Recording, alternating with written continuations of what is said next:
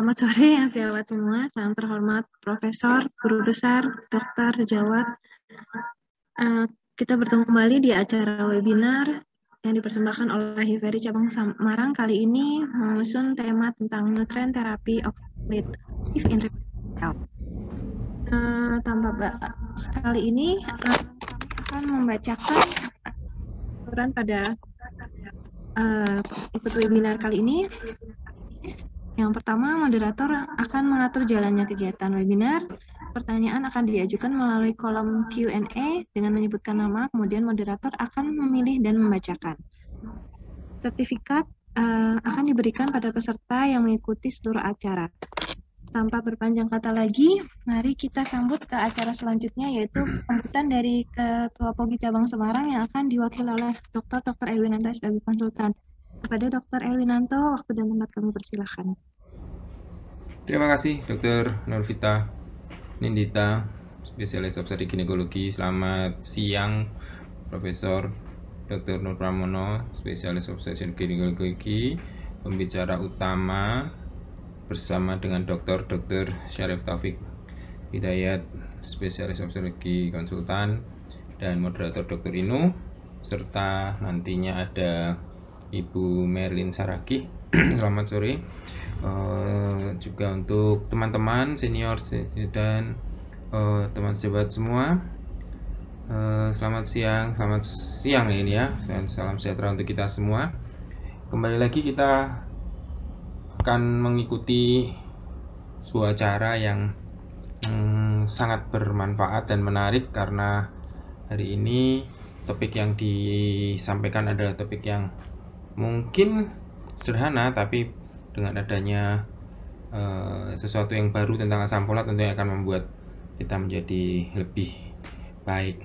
Dan saya ucapkan selamat untuk Hiveri yang sangat rajin ya, mengadakan acara seperti ini membantu semuanya bahkan untuk teman-teman sejawat yang nantinya akan mendapatkan e-sertifikat. Semoga uh, semuanya juga bermanfaat tidak hanya uh, ilmunya tapi sertifikat ini kalau memang ada SKPID tentunya juga ikut memudahkan teman-teman untuk um, mengurus SKP nantinya. Ya ini adalah acara yang patut di apa namanya diteruskan dilanjutkan dan tentunya yang akan datang akan uh, menampilkan topik-topik yang lebih menarik dalam arti menjadi kebutuhan buat kita semua kita bisa mendapatkan pemahaman yang baik dan secara umum uh, acara ini turut membuat Pogi Cabang Semarang akan menjadi lebih dikenal dan kita bisa saling mengenal satu sama lain anggota-anggota di khususnya Pogi Jawa Semarang juga untuk dokter-dokter yang lain yang menjadi peserta pada acara-acara semacam ini.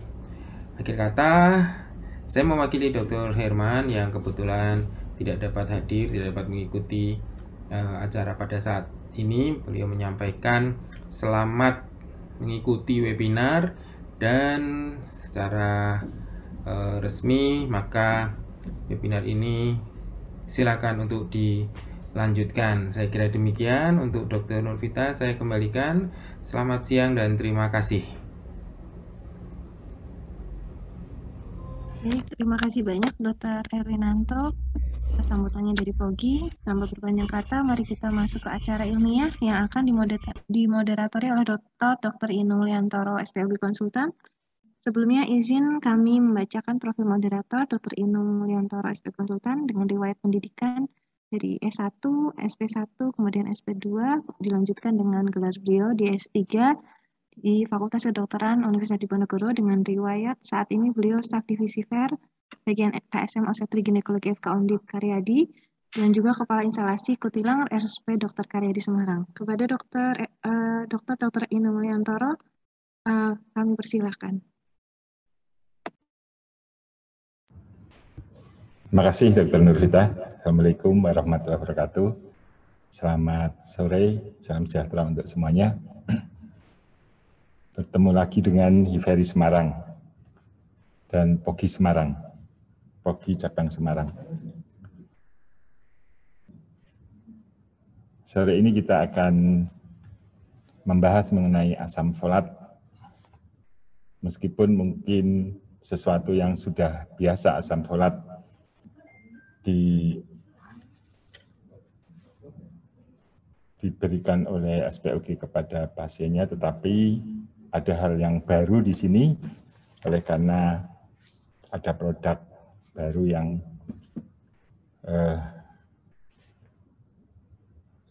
yaitu high folic merupakan satu asam folat yang aktif 5 metil tetrahydrofolat ya. Jadi asam folat ini merupakan satu suplemen yang sangat bermanfaat terutama untuk saat-saat eh, kehamilan karena sangat dibutuhkan untuk perkembangan untuk membuat satu unsur dari DNA di mana itu terjadi pada kehamilan awal dan juga asam folat ini tidak hanya untuk eh, perkembangan sel tetapi juga banyak manfaatnya. Apabila terjadi kekurangan maka bisa mengakibatkan hal-hal yang dapat mengakibatkan kerugian pada pasien seperti penyakit ginjal dan sebagainya, juga kardiovaskuler. Nanti akan dibahas secara panjang lebar oleh pembicara. Telah hadir di sini dua pembicara yang saya kira kita semua sudah mengenalnya dengan baik karena ini adalah guru-guru kita, Profesor Dr. Nur Pramono, SPO MMSC SPUGK dan Dr. Dr. Sarif Taufik Hidayat MS Med SPUGK. Pembicara pertama nanti akan di dengan tema Nutrient Therapy of Folate Active from Vitamin to Medicine oleh Dr. Dr. Sarif Taufik Hidayat MS Med SPUGK. Kemudian Topik yang kedua adalah medical practice etik infertility oleh Profesor Dr. Nurpamno Emet SC SPUGK. Kemudian akan dilanjutkan dengan presentasi obat, presentasi suplemen, yaitu tentang high folic, the fourth generation of folate oleh apoteker Marilyn Saragi. S Farmasi. Sebelumnya saya bacakan, meskipun sudah kenal, harus dibacakan uh, kurikulum vitae-nya secara garis besarnya. Yang pertama adalah Dr. Dr. Sarif Taufik Hidayat MS Med SPOGK. Beliau adalah staf divisi bagian KSM Obstetrik Ginekologi yang sekaligus sebagai Ketua KSM RSUP Dr. Karyadi Semarang juga sebagai Ketua Tim Pengembangan Pelayanan Infertilitas, Ketua Komite Medik, Ketua IGES, Ketua apalagi Dr. Sarif, kayaknya ketua banyak ketua ini, Ketua KSM. Eh, ya, beliau S1-nya lulus dari Universitas Diponegoro, kemudian S2 di UGM, SP1 dan SP2 di Universitas Diponegoro, dan S3-nya di Universitas Gajah Mada. Eh, kemudian kita langsung aja untuk pembicara pertama dengan judul Nutrient Therapy of Folate Active from Vitamin to Medicine. Waktunya 30 menit, Dr. Sarif. Kami persilahkan. Ya, terima kasih Dr. Inu selaku moderator. Eh, para guru besar, para senior, para teman sejawat, dan para peserta webinar yang kami hormati. Assalamualaikum warahmatullahi wabarakatuh. Selamat uh, sore dan salam sejahtera bagi kita semua. Uh, saya izin share screen. Maaf.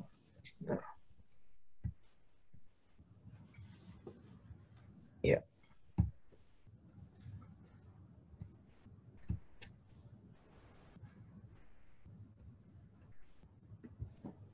Sudah kelihatan ya? Ya.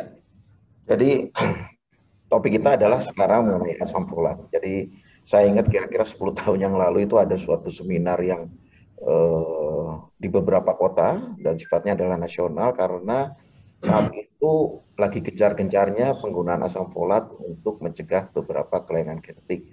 Yang paling gencar adalah neurologic defect dan itu dimotori oleh mereka-mereka yang ahli di bidang genetik ya. Jadi saat itu ada tema yang menarik.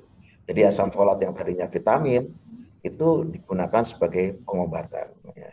Nah, kalau kita lihat uh, evidennya, sebenarnya dimulai dari tahun 1991 jadi ada suatu jurnal yang meneliti mengenai ribuan pasien, sekitar 1.200 pasien yang punya riwayat neurologic defect. Kemudian saat itu dicoba beberapa vitamin, ya beberapa vitamin uh, selain asam folat. Dan ternyata dari hasil penelitian itu, ini sifatnya uh, multicenter dari seluruh dunia, itu dari yang mereka mendapatkan asam folat itu ada enam yang masih uh, terjadi neurologic defect, tapi mereka yang tidak mendapatkan asam folat itu sekitar 21 sehingga disimpulkan asam folat bisa mencegah terjadinya uh, neurologic defect yang berulang sampai 72 persen. Dan itu uh, merubah paradigma kita mengenai penggunaan asam folat dalam uh, pengelolaan pasien hamil. Nah, setelah tahun 91 berkembang ya, beberapa negara sudah merekomendasikan asam folat itu. Awalnya adalah dalam bentuk fortifikasi, jadi penambahan pada uh, sumber makanan sehari-hari bisa dalam tepung, bisa, uh, makanan pokok yang lain. Sampai ke WHO pada tahun 2006 sudah merekomendasikan uh, eh, CDC yaitu suatu lembaga atau badan kerja dari WHO yang meneliti mengenai uh, asam folat ini merekomendasikan untuk pemberian asam folat secara rutin. Nah, kenapa kita harus memberikan asam folat? Karena kita pasti ada risiko terjadi kekurangan asupan dari asam folat dan asam folat dari makanan itu biasanya uh, tidak bisa bertahan lama sehingga kita membutuhkan asam folat yang sintetik. Ini adalah gambaran fortifikasi makanan asam folat pada tahun 2017. Kita lihat hampir semua negara sudah melakukan fortifikasi dari bahan makanan ya. Salah satunya Indonesia, kita lihat di sini ini ada kita biasanya di tepung, ada beberapa negara yang menyantumkannya dalam makanan pokok misalnya nasi dan lain-lain. Di sebelah kanan ini adalah hasil penelitian di Chili. Sejak tahun 1999 sampai 2009 ternyata terjadi penurunan angka neurologic yang sangat drastis sampai 50% lebih. Jadi ini adalah menunjukkan keberhasilan uh, penambahan asam folat untuk mencegah terjadinya neurologic defect berulang. nah sekarang kita bahas mengenai apa itu folat. Folat itu adalah salah satu bentuk dari vitamin B9. Dia merupakan vitamin yang larut air yang terlibat dalam berbagai proses uh, di dalam tubuh. Ada dua bentuk, yaitu bentuk teridin dan bentuk penambahan asam folat, yaitu vitamin B6. Nah, dia dibutuhkan untuk perkembangan hampir semua sel di dalam tubuh kita. Nah, tubuh tidak bisa membuat asam folat, sehingga membutuhkan asupan dari luar. Umumnya kita mendapatkan dari makanan sehari-hari ada yang mengandung asam folat. Ya. Ini saya kira bagian yang sangat penting supaya kita nanti bisa paham bagaimana sih sebetulnya uh, fungsi dari asam folat tadi. Asam folat dari makanan atau dari mungkin suplemen itu nanti akan dirubah di metabolisme di dalam tubuh menjadi dihidroflorat. Nah, dihidroflorat ini membutuhkan dihidroflorat reduktase untuk berubah menjadi tetrahidroflorat, kemudian nanti menjadi 5-10 metilen tetrahidroflorat. Nah, ini nanti metil-metil ini yang dibutuhkan untuk pembentukan purin dan pirimidin. Kita tahu bahwa DNA dan RNA itu membutuhkan purin dan pirimidin. Jadi di sini gugus metil sangat dibutuhkan untuk perkembangan DNA dan RNA. Selain itu, nanti ada enzim namanya 5 uh, uh, MTHFR yaitu metilen tetrahidrofluorat reduktase itu yang akan mengurangi gugus metil dari 5-10 metilen tadi menjadi 5 metilen tetrahidrofluorat. Ini adalah bentuk yang paling aktif dari asam folat. Nah, asam folat 5 MPHF ini nanti berkonjugasi eh, dengan vitamin B12 akan melakukan metilasi dari homocysteine supaya bisa menjadi metionin. Ini proses yang sangat penting karena kalau ini tidak berjalan proses metilasi ini maka akan terjadi penimbunan metionin di dalam tubuh kita. Nah, kalau sudah terbentuk metionin eh, eh timbunan homocysteine maaf, kalau sudah terjadi metionin baru nanti bisa digunakan metilnya untuk pembentukan DNA. Jadi adalah suatu siklus yang sangat penting dan kalau kita lihat di sini salah satu kuncinya adalah bentuk aktif dari folat yaitu 5 MTHF, 5 metilen tetrahidrofluorat. Ini adalah bentuk yang paling penting dari eh, asam folat di dalam tubuh kita. Jadi ada tiga siklus di dalam asam folat. Pertama adalah siklus folatnya sendiri, ya mulai dari masuk ke dalam tubuh kita, di dalam pencernaan, kemudian nanti beredar baik pada hepa maupun pada tulang, ya. dan nanti di dalam uh, sel dia akan uh, terlibat di dalam metabolisme dalam siklus metilasi dan RNA atau RNA cycle. Nah, ada beberapa protein yang bisa dibentuk dari siklus folat ini, misalnya bentuk timidin, glisin, purin, dan hampir semuanya ini adalah vitamin yang dibutuhkan untuk perkembangan daripada sel. Ya. Misalnya pada proses metilasi, siklus metilasi ini adalah suatu proses memindahkan metil karbon dari satu senyawa ke senyawa yang lain. Nah, di sini pentingnya asam folat dan e, metionin, karena kalau proses metilasi ini berjalan, maka dia bisa mencegah beberapa kelainan yang e, timbul dari badan kita karena e, tingginya homosistein. Misalnya, dia memelihara dan meregulasi. Kita tahu bahwa proses metilasi akan membentuk uh, purin dan pirimidin sehingga ekspresi daripada gen akan berjalan dengan baik. Kemudian juga produksi energinya bagus, detoksifikasinya juga bagus, fungsi imunnya bagus, menyeimbangkan mood dan mengendalikan inflamasi. Jadi kalau dihubungkan dengan resikonya kalau kita kekurangan folat, itu ada beberapa reaksi inflamasi yang bisa mengganggu proses metabolisme tubuh kita. Misalnya saja, kita lihat di sini salah satunya uh, pada proses uh, siklus met metionin. Ini kalau tidak ada uh, metilasi daripada folat, maka nanti homosistein akan tinggi dan kalau homosistein tinggi terjadi beberapa kelainan endotel, ya, beberapa kelainan jantung, pembuluh darah dan lain-lain. Jadi diharapkan dengan uh, sistem metilasi daripada folat ini bisa mencegah kelainan uh, yang sifatnya lebih sistemik ya.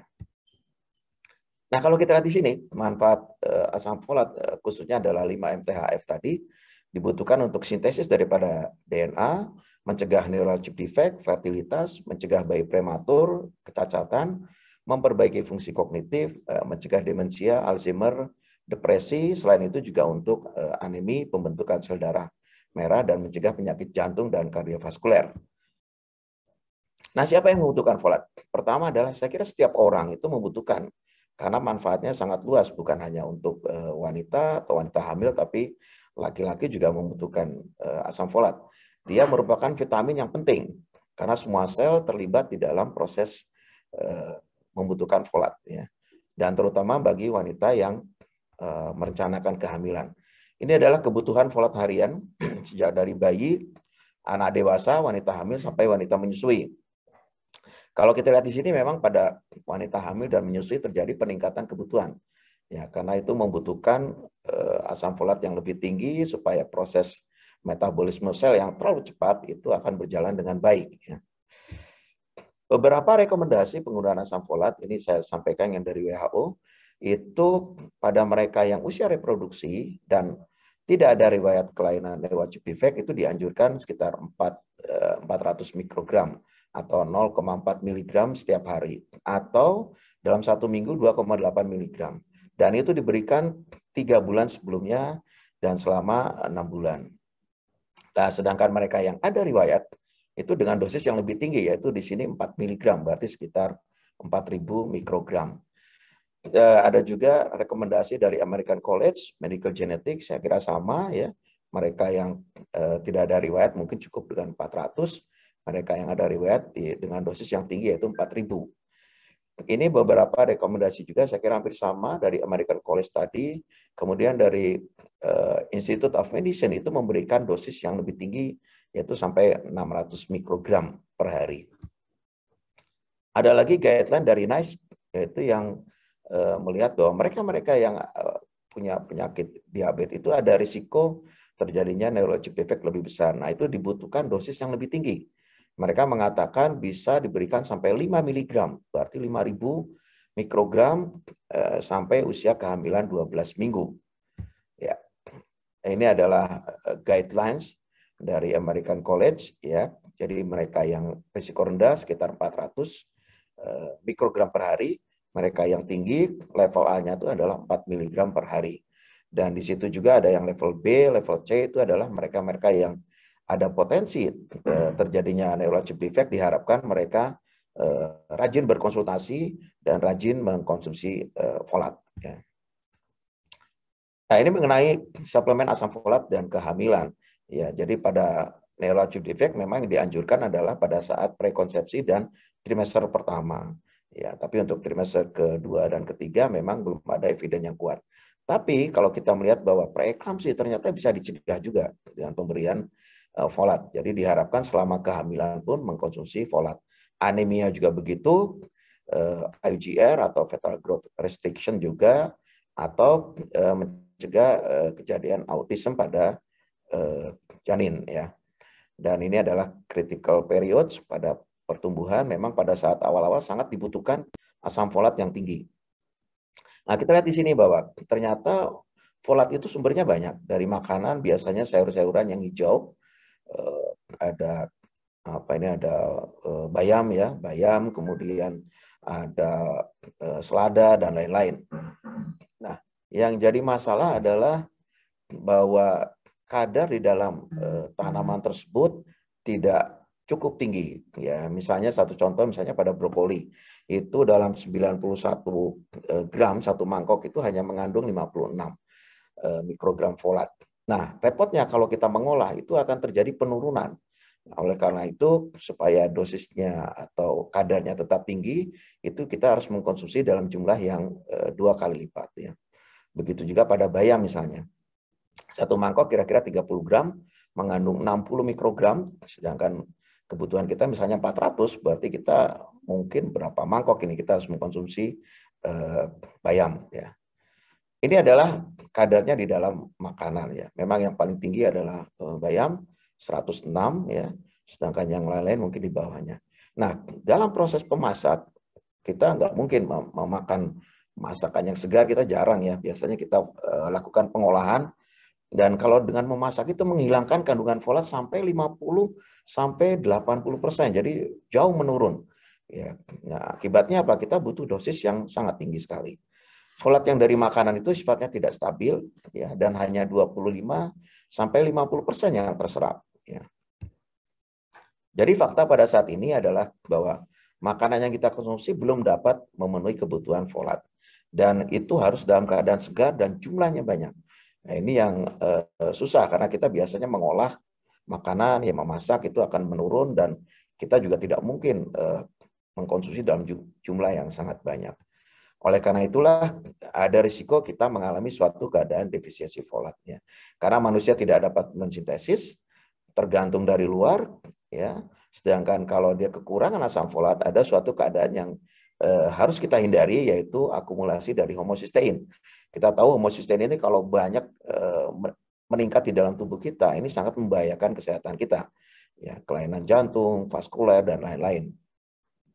Ini penyebabnya biasanya karena dietnya kurang, gaya hidup, ada alkohol, merokok, kemudian genetik. Ini adalah eh, sudah banyak yang meneliti mengenai pengaruh dari polimorfisme dari MTHFR ini dan itu dampaknya sangat luas karena ternyata bahwa beberapa populasi itu mengalami polimorfisme MTHFR yang cukup tinggi ya. Dan kemudian juga beberapa kondisi misalnya hamil dia membutuhkan asam folat yang lebih tinggi. Obat-obatan juga bisa menekan kebutuhan dari folat ya misalnya metotrexat ya. Ya, ini kira-kira dampaknya begini. Ini dari makanan, penuaan akan berisiko terjadi penurunan asam folat, metilasi terganggu, ada risiko terjadinya neurologic defect, infertilitas, metilasi terganggu tadi sudah ya, gangguan pada ginjal, pada jantung, ya, anemi dan segala macam. Nah, ini mungkin mengenai genetik dari MTHFR. Ada tiga polimorfisme. Kita tahu bahwa polimorfisme adalah suatu bentuk uh, genetik yang sifatnya umum. Jadi bukan seperti mutasi yang sifatnya ada beberapa individu saja.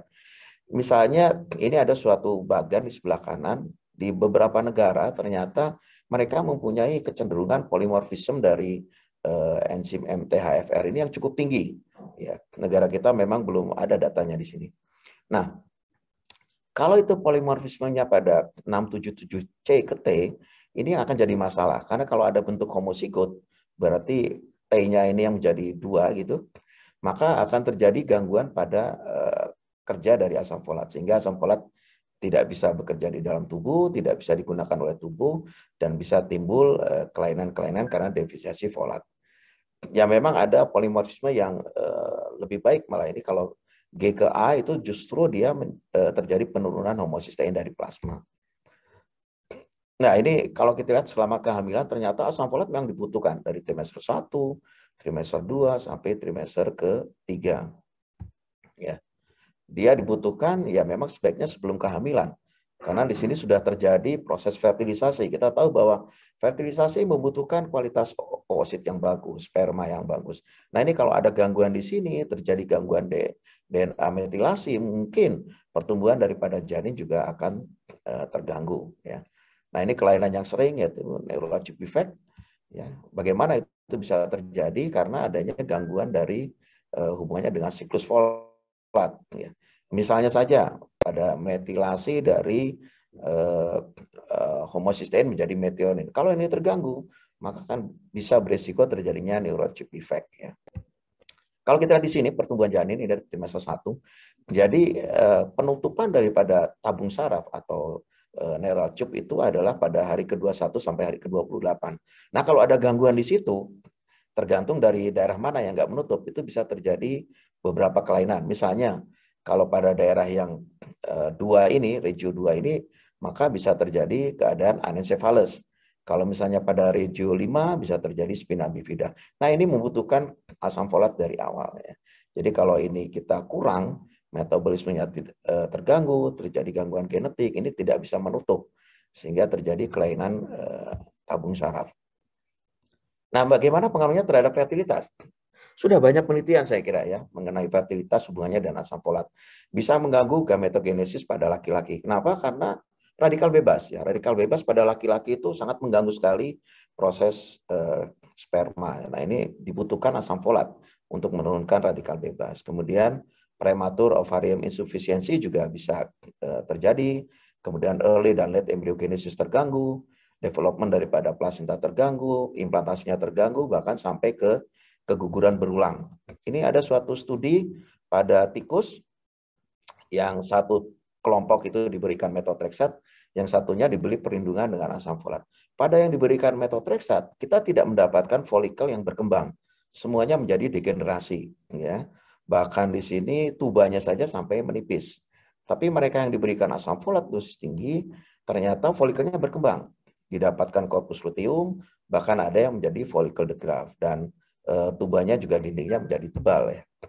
Ini juga beberapa penelitian bahwa mereka yang dengan pemberian 5 MTHF ternyata bisa memperbaiki kualitas dari e, ovarium. Nah ini pada SOPK, sindroma ovarium polikistik atau PCOS. Kita tahu bahwa kalau kita bicara SOPK, sekarang kita sudah treatmentnya adalah uh, dengan uh, uh, dengan nutrien ya. Jadi sekarang sudah paradigmanya kita berubah. Di sini banyak nutrien yang bisa diberikan pada pasien SOPK. Di antaranya adalah asam folat ya, karena sangat erat sekali hubungannya dengan proses folikulogenesis. Selain itu juga bisa menurunkan homocysteine. Ada suatu penelitian yang memberikan asam folat dengan placebo. Jadi kelompok placebo tidak diberikan, kelompok yang diberikan asam folat menjalani program bayi tabung. Semuanya sama, dosisnya sama, eh, eh, karakteristiknya sama. Nah, mereka yang diberikan asam folat ternyata pregnancy rate-nya itu jauh eh, membaik ya, signifikan sekali. Dan kalau kita lihat di sini, maturasi daripada oositnya ini sesuatu yang menarik. Berapa sih sebenarnya kebutuhan asam folat untuk memperbaiki kadar oosit ya? Ternyata dari ini yang kontrol, kemudian kita berikan 10 mikrogram, 50 mikrogram sampai ke 150. Ternyata dosis 50 ini adalah dosis yang paling optimal. Kalau dinaikkan dosisnya malah terjadi penurunan atau gangguan. Kadarosnya bisa menurun dan kalau kita lihat di sini perkembangan dari oosit mulai dari M2 sampai ke 2 sel, 8 eh, sel, bahkan sampai blastosis, ternyata asam folat bisa memperbaiki eh, perkembangan daripada oosit lebih baik. Ya. Ini juga penelitian, ada suatu eh, kelompok yang mengalami infertilitas unexplained. Unexplained berarti normal semua, dicoba hubungan alami, kemudian selama tiga minggu ada yang diberi asam folat 5 mg, ada yang tidak.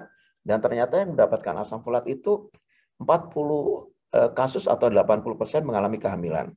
35 eh, dengan spontan dan 5 dengan eh, dilakukan induksi ovulasi. Nah, kalau kita lihat di sini, saya kira ini bagian yang cukup penting. Begitu masuk asam folat, itu akan diserap oleh mukosa, kemudian dia akan beredar. Biasanya dihantarkan ke hepar dan ke tulang ya. Nah, ini adalah bagian yang harus kita pahami ya untuk mengetahui bagaimana sebenarnya peran daripada asam folat di dalam tubuh kita. Jadi titik tangkapnya adalah 5 MTHF, 5 metilin tetrahidrofluorat. Begitu masuk, asam folat itu bisa bersumber dari makanan, bisa berasal dari uh, uh, suplemen kita ya. Nah, kalau asam folat yang dimasukkan dari luar itu membutuhkan perubahan dulu uh, dehidrofluorat reduktase untuk menjadi dihidrofluorat. Nah, repotnya enzim ini terbatas pada tubuh kita. Jadi karena terbatas tidak bisa mengcover semua asam folat yang kita konsumsi. Akibatnya apa? Ada potensi terbentuknya UMFA yaitu uh, unmetabolized uh, folic acid. Ini yang menjadi isu bahwa sebenarnya kelebihan asam folat juga akan berbahaya bagi tubuh kita. Nah, kalau sudah lolos, dia membutuhkan beberapa enzim lagi, di antaranya adalah MTHFR. Ini yang paling penting juga, karena dengan adanya MTHFR akan berubah 5-10 metilen, nanti mengurangi uh, metilnya menjadi 5 MTHF, suatu bentuk yang aktif dari asam folat. Jadi, di dalam metabolisme asam folat, kita harus hati-hati juga bahwa ternyata kita tidak bisa sembarangan memberikan dosis yang tinggi. Nanti kalau terbentuk eh, UMFA ini sangat berbahaya sekali bagi kesehatan tubuh kita. Dan kita juga harus melihat bagaimana kemampuan MTHFR untuk merubah eh, menjadi bentuk yang aktif. Ya. Ya ini adalah metabolized folate acid itu sangat uh, tidak diharapkan sebetulnya dengan dosis yang berlebihan ada risiko terjadi penumpukan dari UMFA. Ini adalah contohnya kalau kita berikan dosis yang makin meningkat, ternyata kadar daripada unmetabolized itu akan makin meningkat juga. Bahayanya apa? Dia bisa mengganggu proses metabolisme folat sendiri. Kenapa? Karena dia akan menggunakan uh, enzim uh, dihidrofluorat yang berlebihan sehingga kebutuhan untuk folat di dalam tubuh kita akan terganggu. Kemudian juga mengganggu fungsi kognitif, penurunan EK sel dan ini yang uh, menjadi isu bahwa bisa menjadi uh, mengganggu sistem imun untuk mencegah kanker. Jadi mungkin potensi kanker akan justru meningkat. Ya.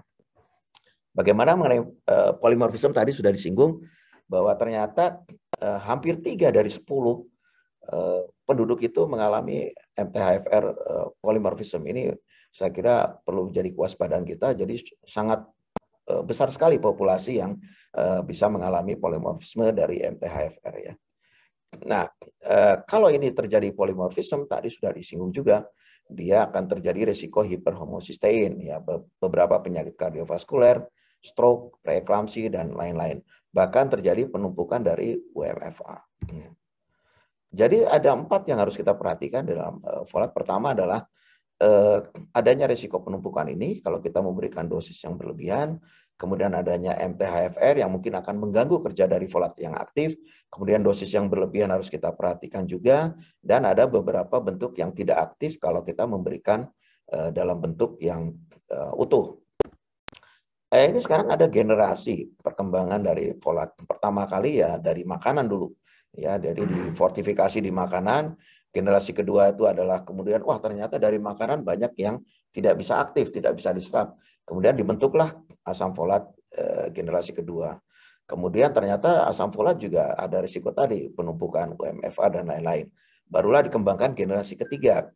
Generasi ketiga ini eh, di pasaran dikenal sebagai metafolin.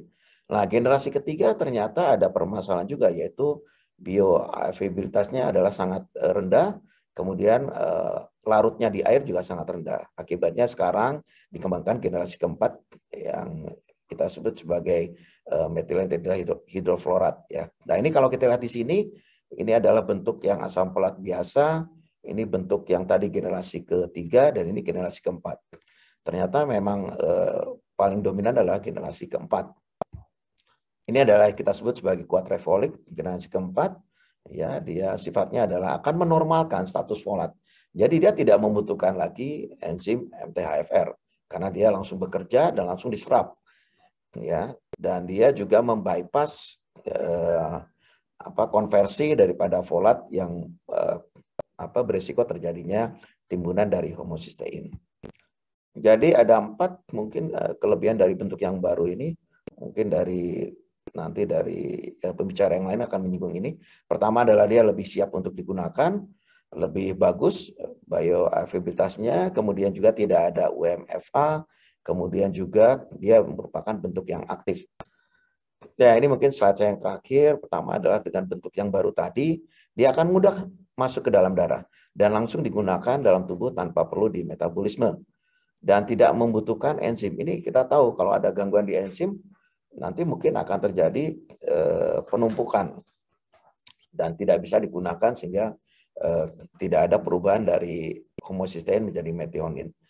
Dan dia juga tidak menghasilkan UMFA sehingga tidak ada efek toksik akibat dari UMFA. Kemudian juga dia masuk mudah ke dalam darah dan efek terapinya adalah bisa lebih maksimal. Jadi sebagai take home message dari presentasi saya pertama adalah Eh, folat merupakan vitamin yang larut air yang terlibat dalam berbagai proses dalam pertumbuhan dan perkembangan sel. Semua sel di dalam tubuh kita membutuhkan asam folat. Dan tubuh tidak dapat memproduksi, sehingga butuh asupan dari luar. Pemberian folat, eh, rekomendasinya adalah tiga bulan prakonsepsi sampai kehamilan 9 bulan.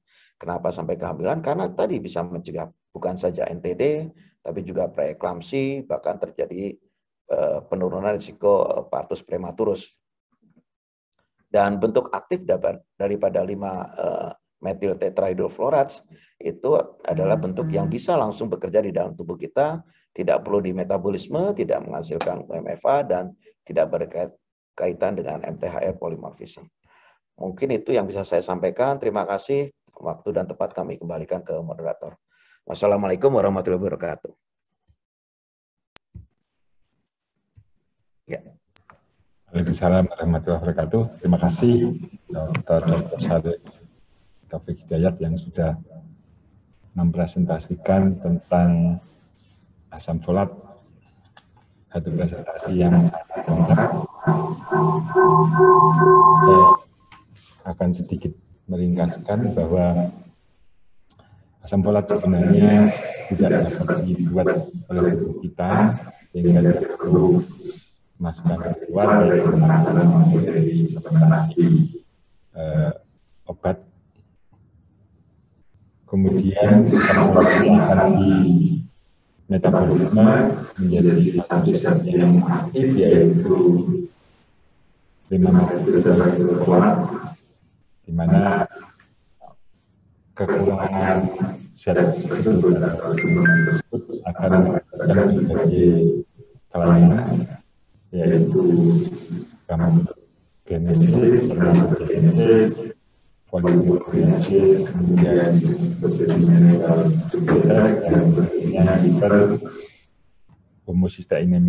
sehingga dapat mengakibatkan kelainan-kelainan seperti kardiovaskular dan sebagainya.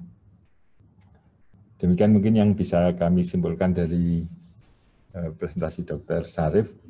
Kemudian kita akan ke presentan kedua oleh Profesor Dr. Nur Pramono MSc SPUGK yang akan membawakan tentang medical education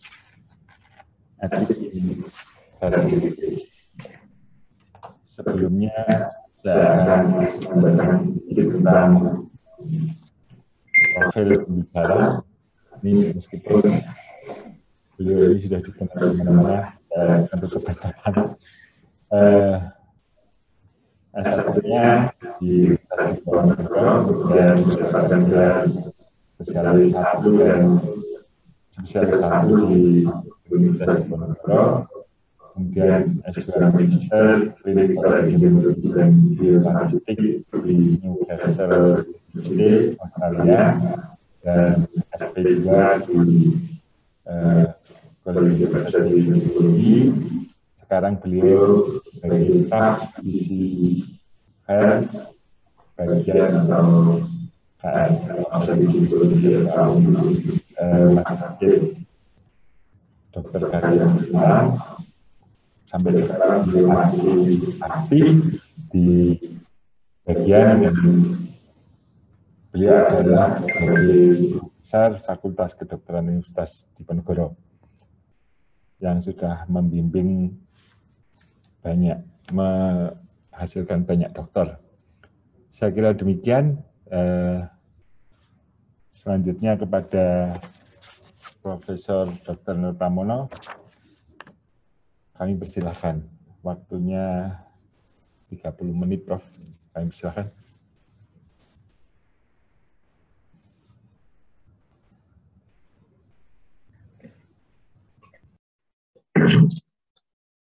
Baik, Assalamualaikum warahmatullahi wabarakatuh. Selamat sore pada semuanya yang hadir jadi saya mendapat tugas mengenai topik ini yang saya kira cukup berat ya etik etika itu eh, di mana-mana masih merupakan permasalahan besar. Nah, tetapi di sini terbatas pada etika infertility dan hubungannya dengan istilahnya eh, aktif dengan sendirinya. Baik, jadi dalam presentasi ini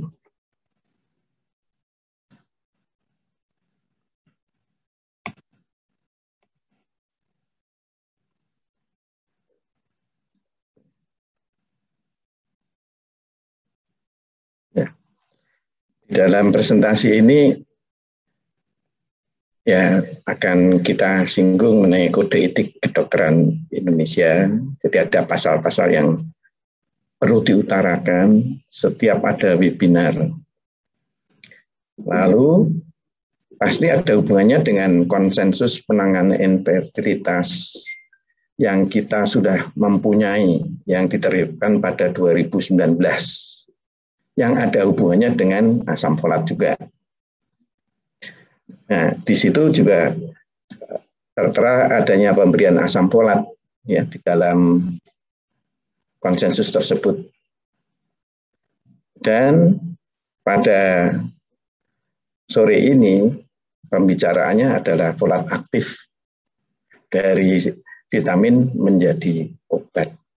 Nah, itu masalahnya. Jadi kalau kita meninjau kode kita, dulu dibuat itu berdasarkan masuk artinya banyak eh, berdasarkan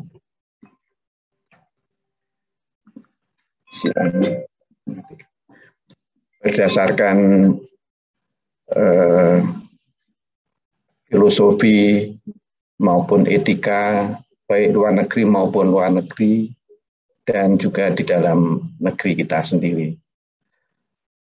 Makanya saya tidak akan menguraikan siapa saja, tetapi kita sudah uh, mempunyai mukadimah dan itu berdasarkan luar negeri maupun dalam negeri.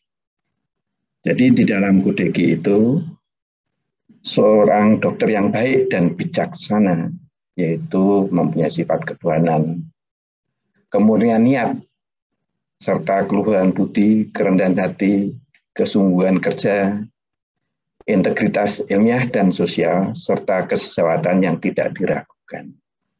Nah, itu yang harus kita pegang. Etik tersebut mengutamakan penderita yang berobat, mengutamakan penderita yang berobat demi keselamatan dan kepentingannya.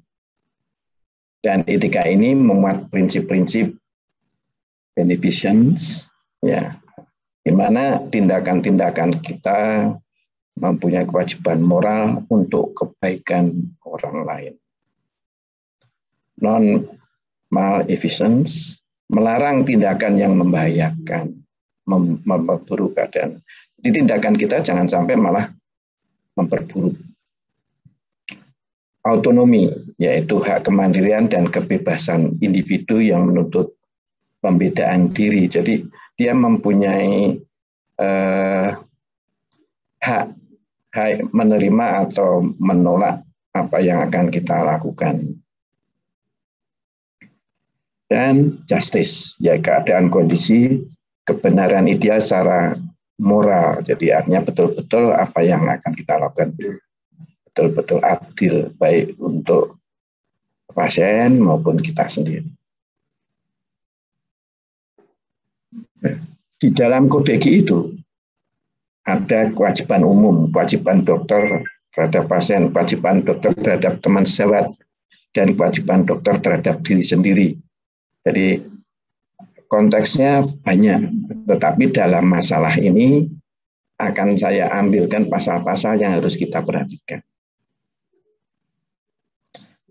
Jadi pasal 3, kemandirian profesi.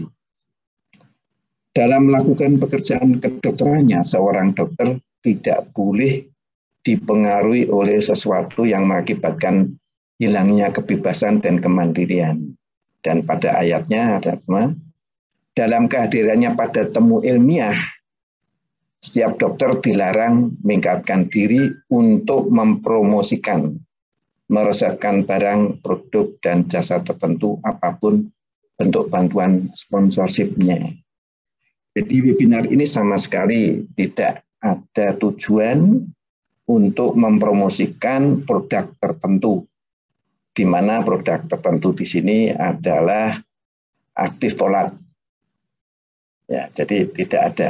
Kita memberikan gambaran ilmiahnya. Jadi itu tadi. Jadi kita tidak melanggar mengenai kemandirian profesi. Lalu di dalam pasal 6, bijak dalam penemuan baru setiap dokter wajib senantiasa berhati-hati dalam mengumumkan atau menerapkan setiap penemuan teknik atau pengobatan baru yang belum diuji kebenarannya dan hal-hal yang dapat menimbulkan keresahan masyarakat. Nah, termasuk eh, pola aktif ini, apakah sudah teruji kebenarannya? Eh, dan kalau dari presentasi Dr. Sarif tadi, dari dari vitamin menjadi obat, ya. apakah ya itu perlu kita cermati. Memang nantinya arahnya ke, ke sana, tetapi kemungkinan sekarang masih belum ya, akan menjadi obat karena syarat obat itu mempunyai persyaratan yang sangat ketat apa yang disebut obat. Ya, jadi sedangkan asam folat sendiri masuk di di BPOM ya balai uh, ya BPOM itu masih sebagai food supplement termasuk folat aktif ini masuk di dalam uh, BPOM ini juga masih merupakan suplemen belum obat Demikian juga di negara-negara yang lain juga masih dimasukkan dalam food supplement, belum digolongkan dalam obat. Walaupun demikian, tetap eh, evidence base itu harus kita laksanakan. Apakah kita itu bijak menggunakan atau Lalu pasal 13, kerjasama. Setiap dokter dalam kerjasama dengan para pejabat lintas sektoral di bidang kesehatan, bidang lainnya, masyarakat wajib saling menghormati. Dokter wajib mentaati peraturan internal dan membina hubungan harmonis dengan manajemen dan petugas lain dalam fasilitas pelayanan kesehatan di mana ia bekerja.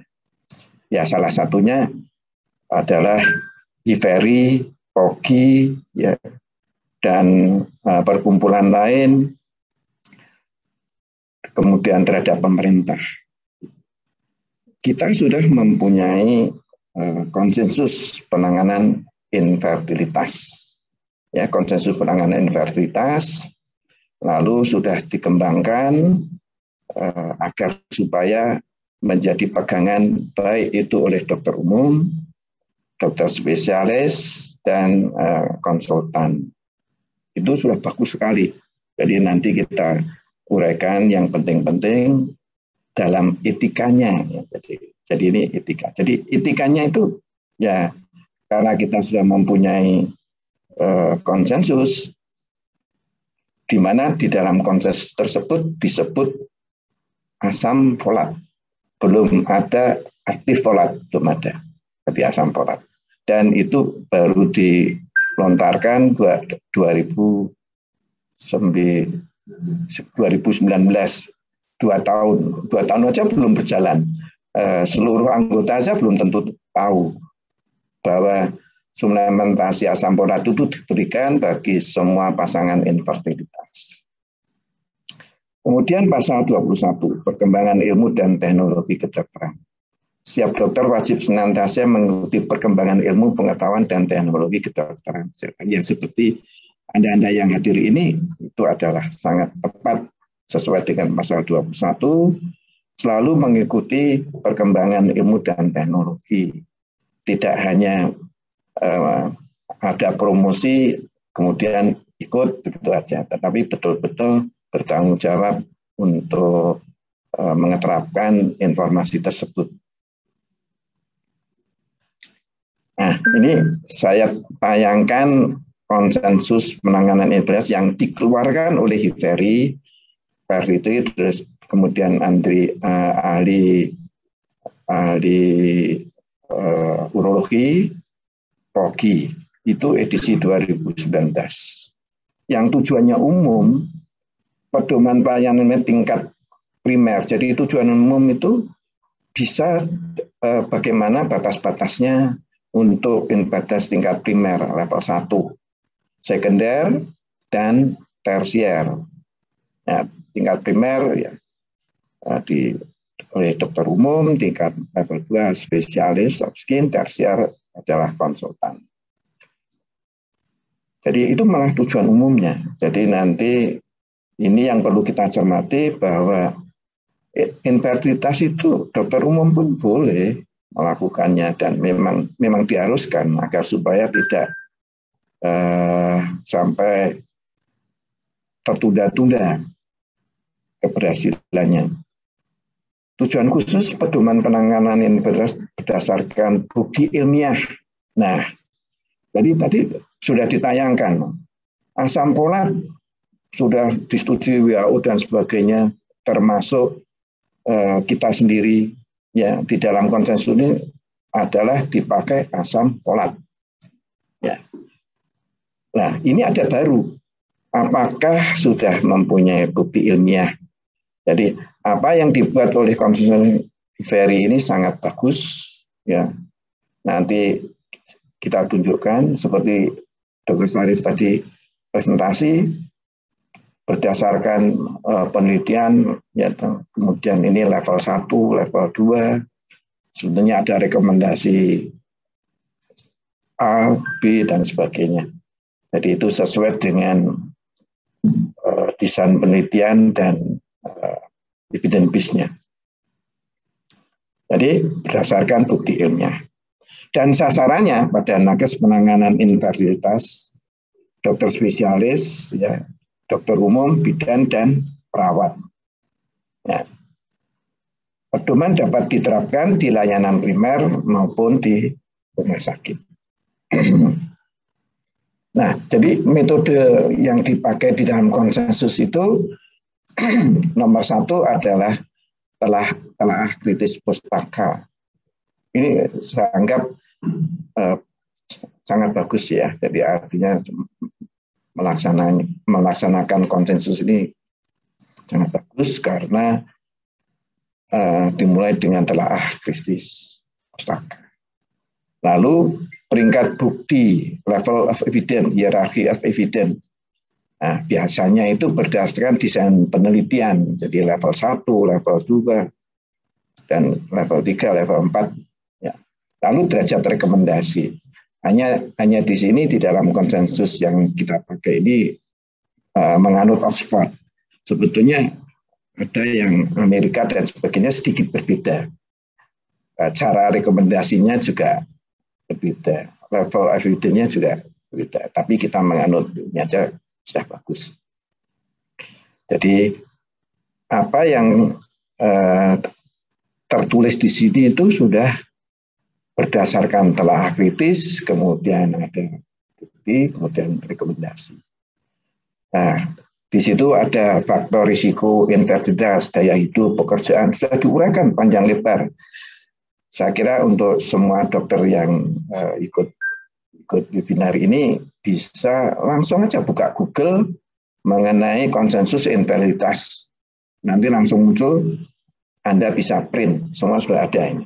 Daya hidup, pekerjaan. Kemudian faktor penyebab ini faktor perempuan, faktor laki, jadi saya tidak akan mendiskusikan uh, manajemennya, tapi uh, etikanya. Jadi, lalu pemeriksaan pada perempuan, pemeriksaan pada laki, histeroskopi, laparoskopi, lalu tata laksana infertilitas. Ya, ada tata laksana gangguan ovulasi, gangguan tuba, infertilitas, faktor uterus, idiopatik, dan faktor sperma. Kemudian mengenai fertilisasi in vitro, indikasi FIV-nya, definisi stimulasi ovarium terkendali itu bagaimana, sudah dijelaskan sangat rinci dan bagus. Tujuan stimulasi ovarium, jenis-jenis protokol stimulasi ovarium, metode penelitian pemilihan protokol dan menentukan dosis, pemantauan stimulasi ovarium terkendali, dan luteal phase support. Lalu penanganan kasus berdasarkan kompetensi klinis, di mana kita tahu bahwa kondisi sistem rujukan infertilitas di Indonesia itu belum begitu bagus. Ya, kemudian sertifikasi sistem rujukan infertilitas, klasifikasi kompetensi sudah ada semua di sini. Jadi nah, mudah-mudahan hasil konsensus ini bisa tersebar luas, kemudian bisa sampai ke pelayanan primer, sekunder, dan tersier dan kita sebagai anggota HIVERI ya sebaiknya uh, menggunakan konsensus ini agar supaya kita seragam. Lalu ada algoritma penanganan infertilitas. Nah, jadi pada algoritma itu pada kunjungan pertama selalu mengadakan anamnesis, ya, riwayat perkawinan, pekerjaan, gaya hidup, lalu evaluasi uterus dan aneksa, evaluasi folikel antrabasal, ya kalau misalnya tidak bisa ya enggak apa-apa, yang penting uh, diusahakan melengkapi. Kalau kalau belum bisa lengkap ya enggak masalah. Jadwalkan pemeriksaan, kemudian profil, profilaksis klamidia. Jadi perlu jadi di dalam kunjungan pertama. Kemudian suplementasi asam folat. Sudah jelas-jelas kita masih mengikuti tadi apa yang diutarakan Pak Sarif, eh, sampai saat ini masih menggunakan suplementasi asam folat. Ya, jadi asam. Kemudian kunjungan kedua ASG, sono USG, analisis sperma, office hysteroscopy bila perlu, pap bila perlu. Pada kunjungan ketiga, konfirmasi ovulasi bila perlu, diskusi dan diagnosis, dan jelaskan rencana penanganan. Jadi, saya masuk di sini juga nanti akan sedikit membahas mengenai atau me, meringkaskan apa yang Dr. Sorif tadi kan sangat luas itu, sangat luas. Jadi nanti hubungannya sama infertilitas saja. Nah, di sini sudah ada bagaimana analisis sperma normal, abnormal, kemudian harus bagaimana silahkan aja nanti lihat bagian. Saya tidak akan memberikan kuliah ini, tetapi menunjukkan bahwa sudah ada, silahkan ikuti. Kemudian juga mengenai ini, jadi di eh, penanganannya. Jadi, nah kalau berdasarkan sperma, misalnya sperma 0 sampai 5 juta itu uh, VIV ya, injeksi sperma intrasitoplasma. Kemudian kalau 5 juta sampai 40 juta uh, inseminasi, kalau 40 juta sampai lebih itu adalah hubungan seksual biasa. Itu kira-kira untuk dokter umum bisa uh, memberikan.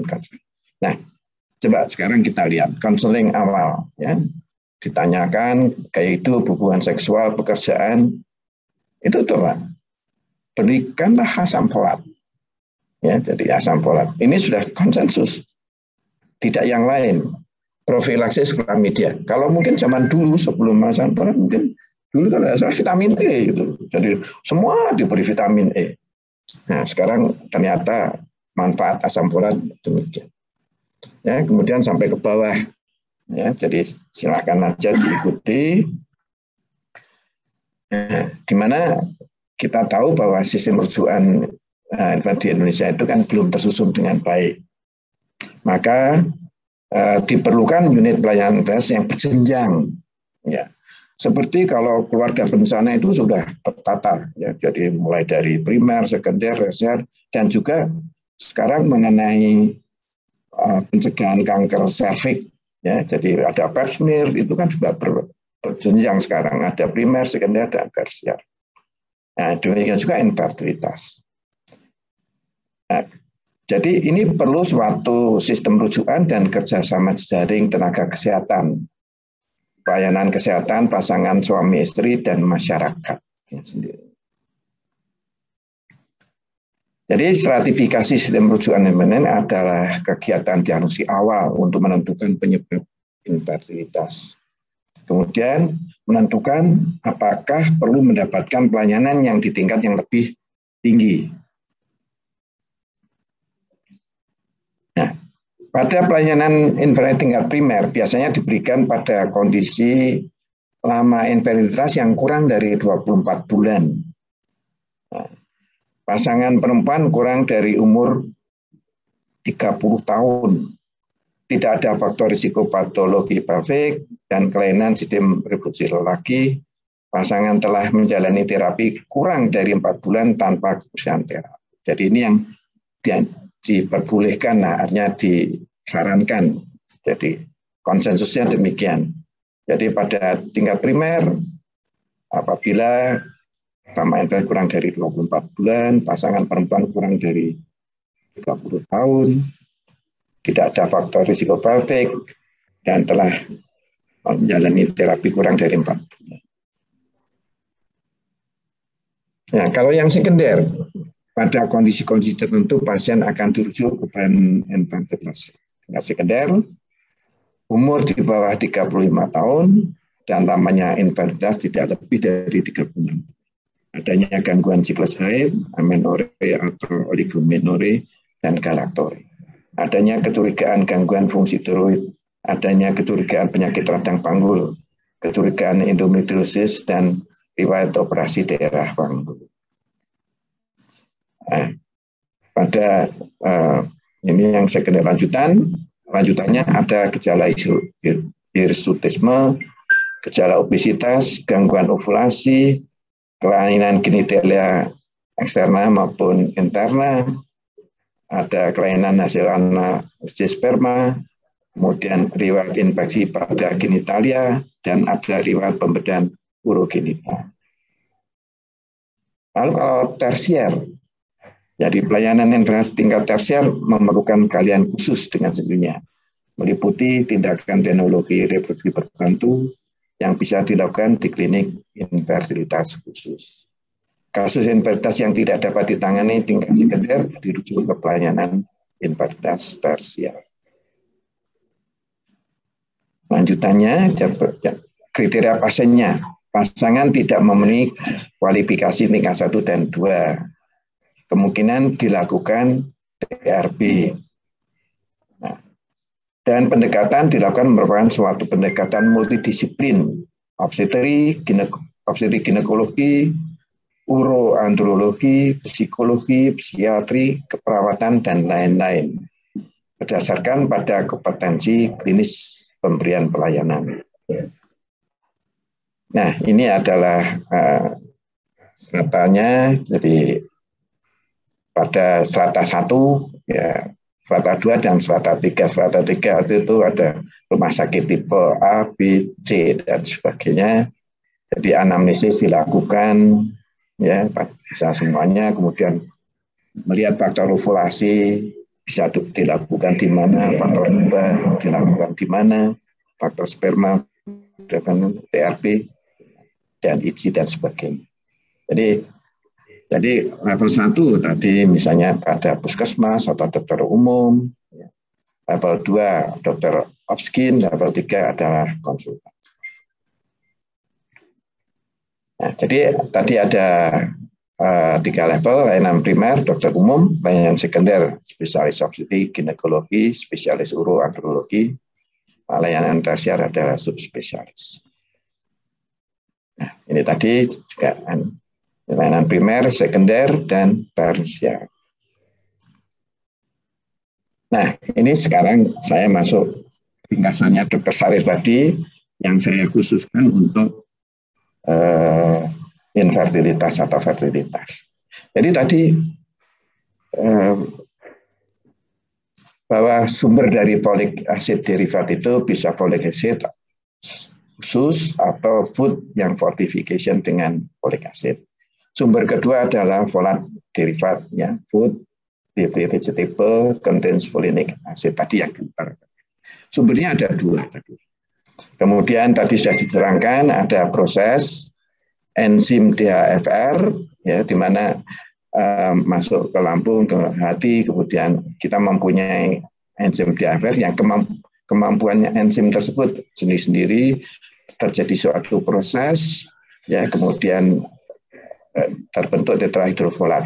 Nah, apabila kemampuannya berkurang, maka akan kelebihan ya, atau ada yang unmetabolized folic acid. Baik itu kemampuan yang berkurang dari enzim tersebut, tiap pasien kan tidak sama, atau dosisnya yang tinggi, yang tidak mampu dimetabolise semua. Jadi akan akan terjadi itu. Kemudian setelah tetrahydrofolat uh, melalui proses, ya kemudian uh, akan menjadi 5 M, MTHF, ya metil tetrahydrofolat ini folat aktif. Ini folat aktifnya jadi pembicaraannya di folat aktif. Nah, di dalam proses ini ada ada metil tetrahydrofolat reduktase enzim yang ini sangat terpengaruh oleh gen masing-masing.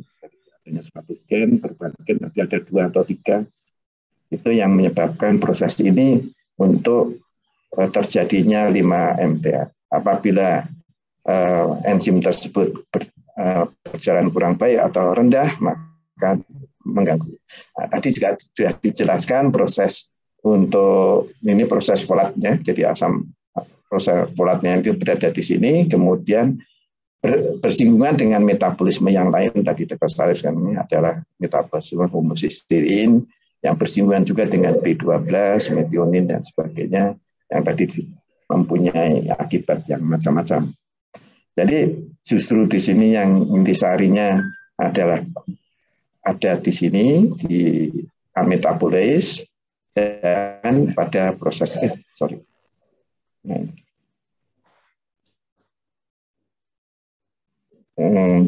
jadi ada proses yang akan metabolise yang tidak banyak bersinggungan dengan fertilitas. Ya, nanti saya, saya lewati aja. Kemudian yang banyak bersinggungan justru yang berada di sini. Ya. Ya, jadi mengenai ini efek samping tadi banyak yang non non um, tidak banyak berhubungan dengan infertilitas memang hanya imun mungkin dari dari imun.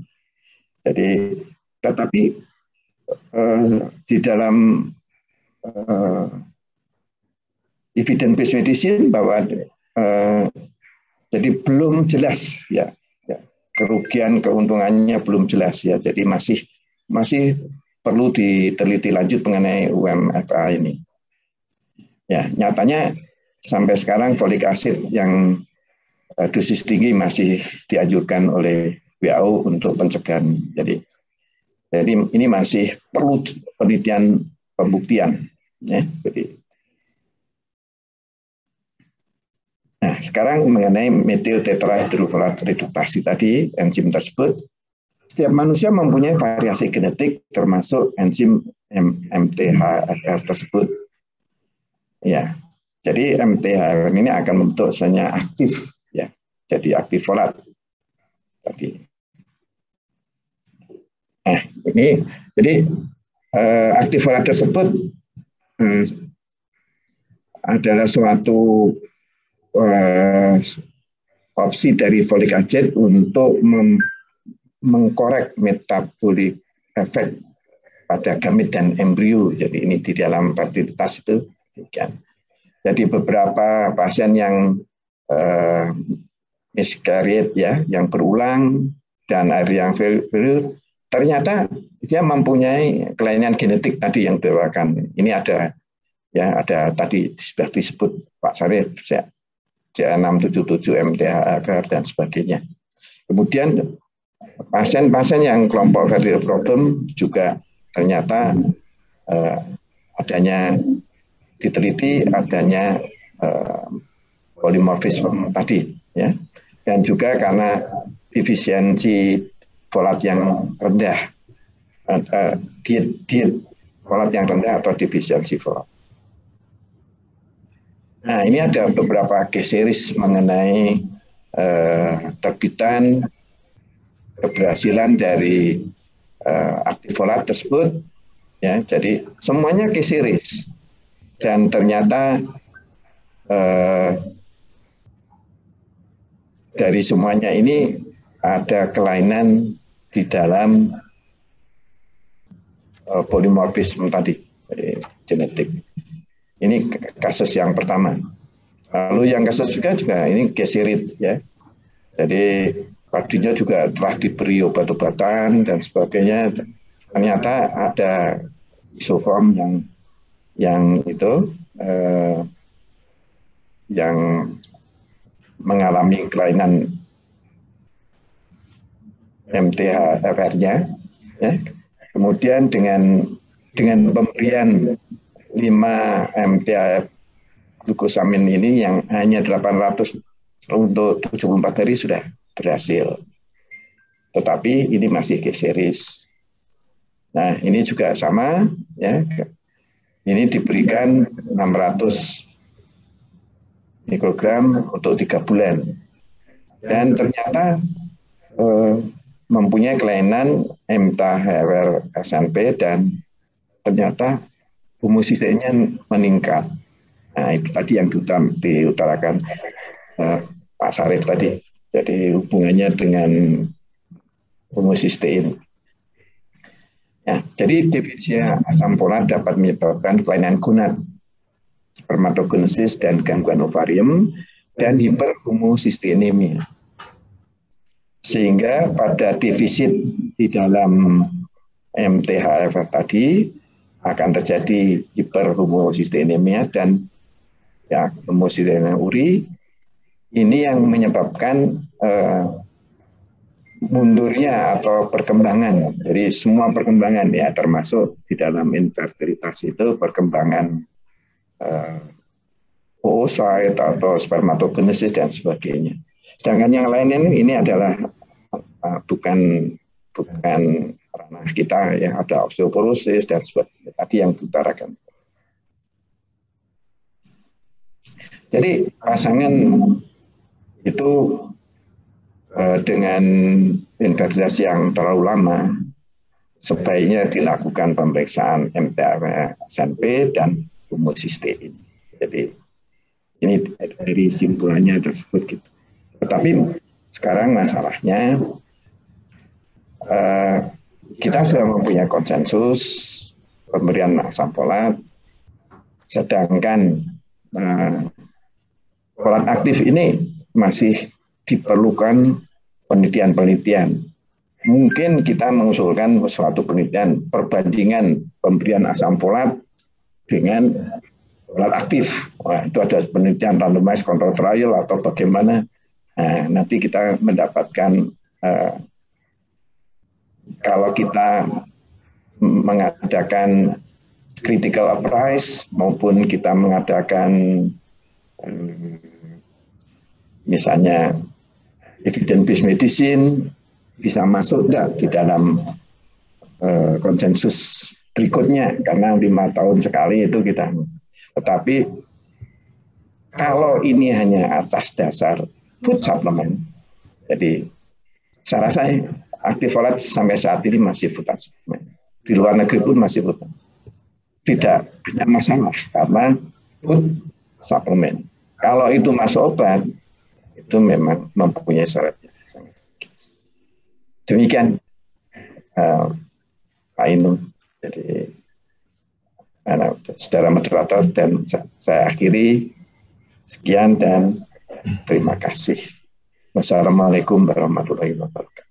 Waalaikumsalam warahmatullahi wabarakatuh. Terima kasih Profesor Nur Pramono atas presentasinya eh, mungkin yang perlu dicatat adalah bahwa konsensus penanganan infertilitas sebenarnya sudah merekomendasikan mengenai pemberian asam folat.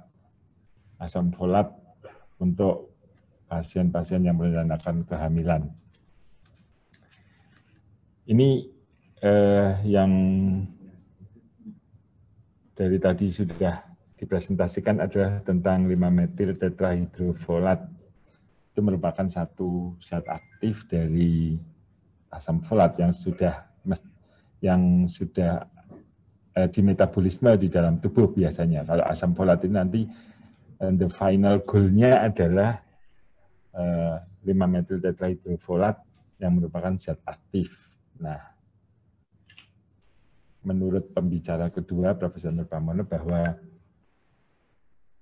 apakah eh, perlu satu penelitian mengenai eh, metil tetrahidrofolat atau zat aktif dari folat ini eh, diberikan secara langsung dengan dosis berapa dengan eh, ini nanti kita akan mendapatkan informasi lebih banyak dari Ibu Merlin Saragih yang akan mempresentasikan tentang 5 metil tetrahidrofolat. Ya. Uh, Persilahkan kepada Ibu Merlin, waktunya 10 menit ya Bu. Ya, baik. Uh, ya, baik Dokter Inu, uh, terima kasih banyak. Uh, pertama-tama kami mengucapkan terima kasih banyak untuk Pogi Cabang Semarang, HITERI Cabang Semarang, kepada Prof. Nur, kepada Dr. Sarif, kepada Dr. Nurvita, Dr. Erwinanto, dan Dr. Inu atas kesempatan yang diberikan sehingga PT SIMEK dapat mendukung acara siang hari sore hari ini. Perkenalkan saya Merilin Saragi yang mewakili PT SIMEK uh, Pharmaceutical Indonesia. Uh, dokter semuanya, izinkan saya untuk memberikan sedikit informasi mengenai produk kami yang mengandung 5-metil tetrahidrofolat dengan merek Hyfolic. Mohon maaf, uh, dokter, sebentar saya izinkan saya share screen terlebih dahulu. Iya, sudah terlihat ya, dokter. Ya, sudah.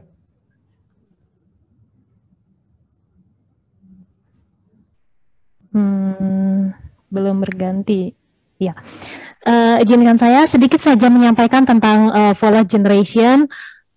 Mungkin Dokter Sarif dan Prof juga sudah menjelaskan, tapi izinkan saya sedikit saja mengcapture mengenai follow generation. Jadi yang mengenai follow generasi pertama itu memang bersumber dari makanan, tetapi memiliki banyak uh, dari sisi negatifnya karena tidak stabil dan mudah terdegradasi dalam proses uh, dalam proses. Kemudian Sekolah generasi kedua itu kurang lebih di tahun 1945 dibentuklah uh, sintetis bentuk sintetis asam suplemen asam folat, tetapi bentuknya masih belum aktif sehingga pada generasi berikutnya yaitu generasi tiga dan generasi keempat ini sebenarnya dua-duanya sudah bentuk aktif yaitu metil tetrahidrofolat.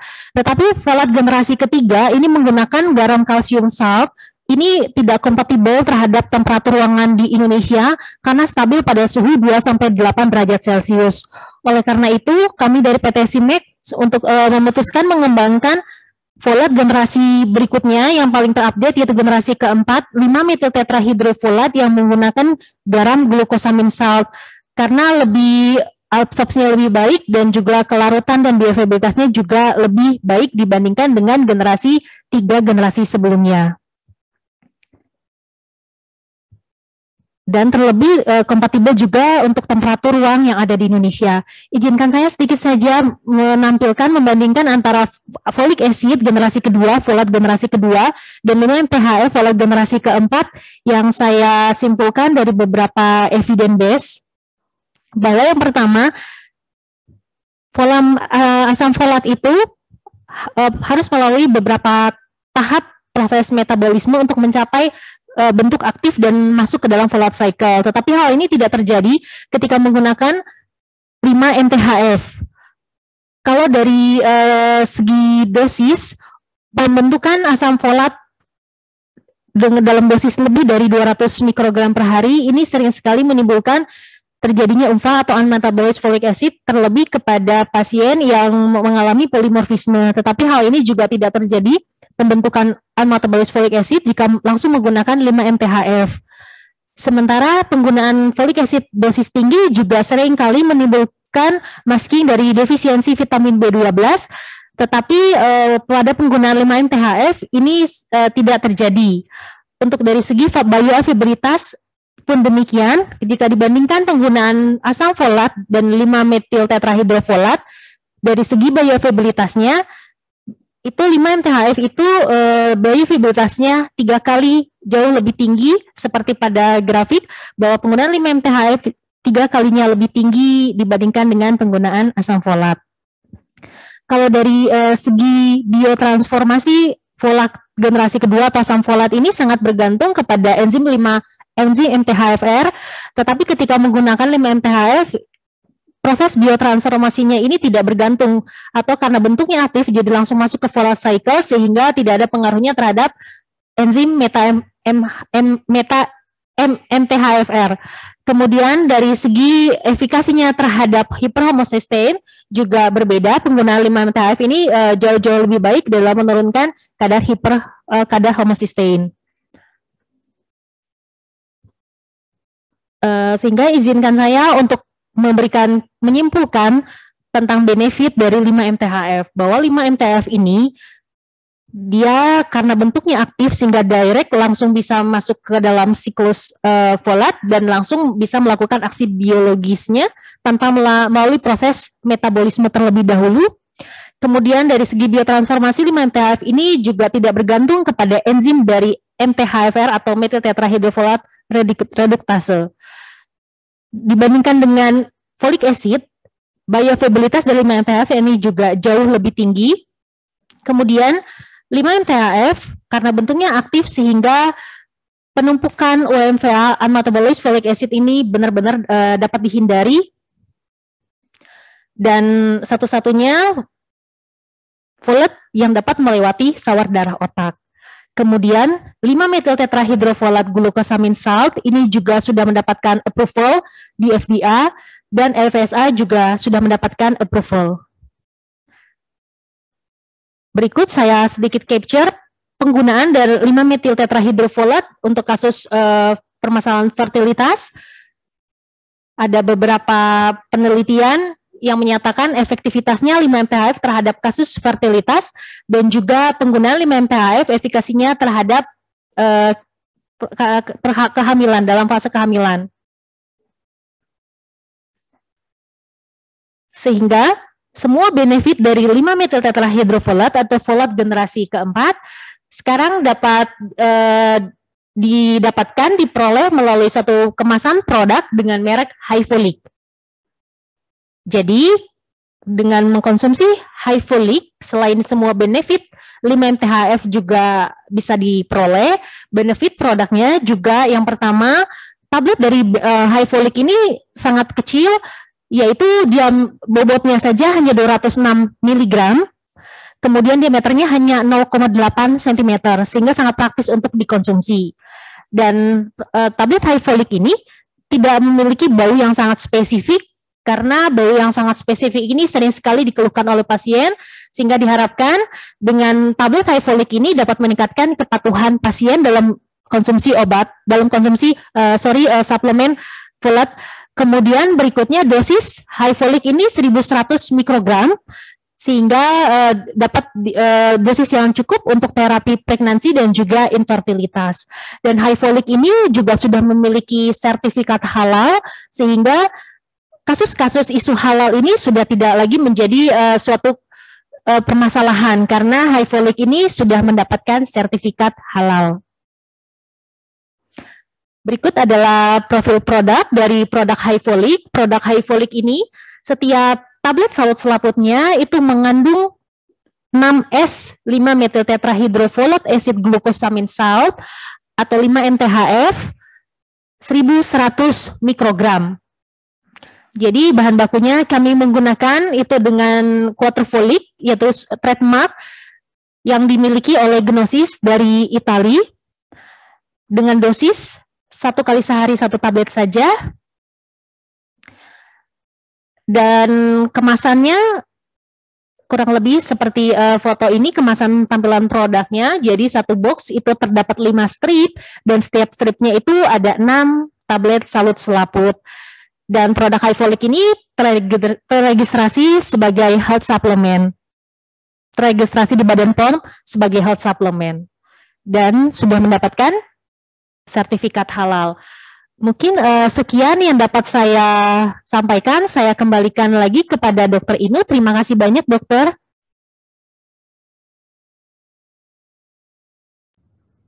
Terima kasih Ibu Marilyn lagi yang telah mempresentasikan tentang produk high folic yang merupakan 5 metil tetrahidrofolat yang merupakan asam folat aktif ya. Jadi tidak perlu enzim uh, metyltetrahydrofolat reduktase.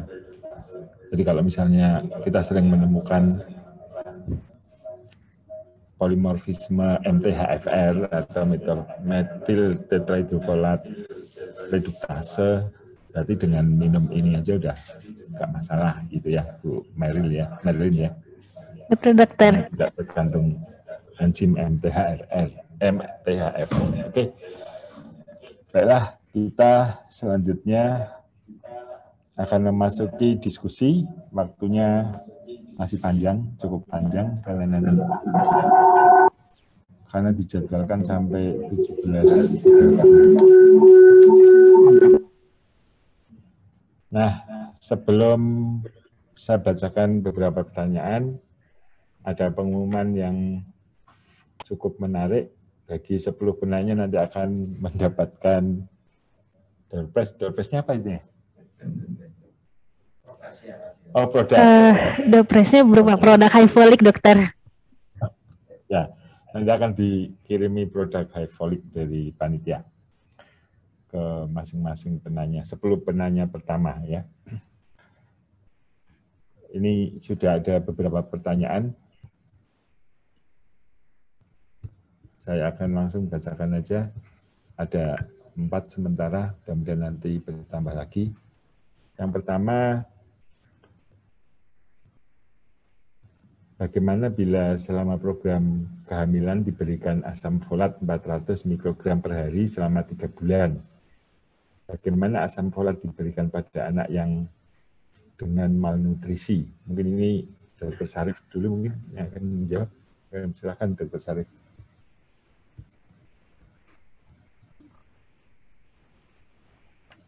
Ya, terima kasih pertanyaannya.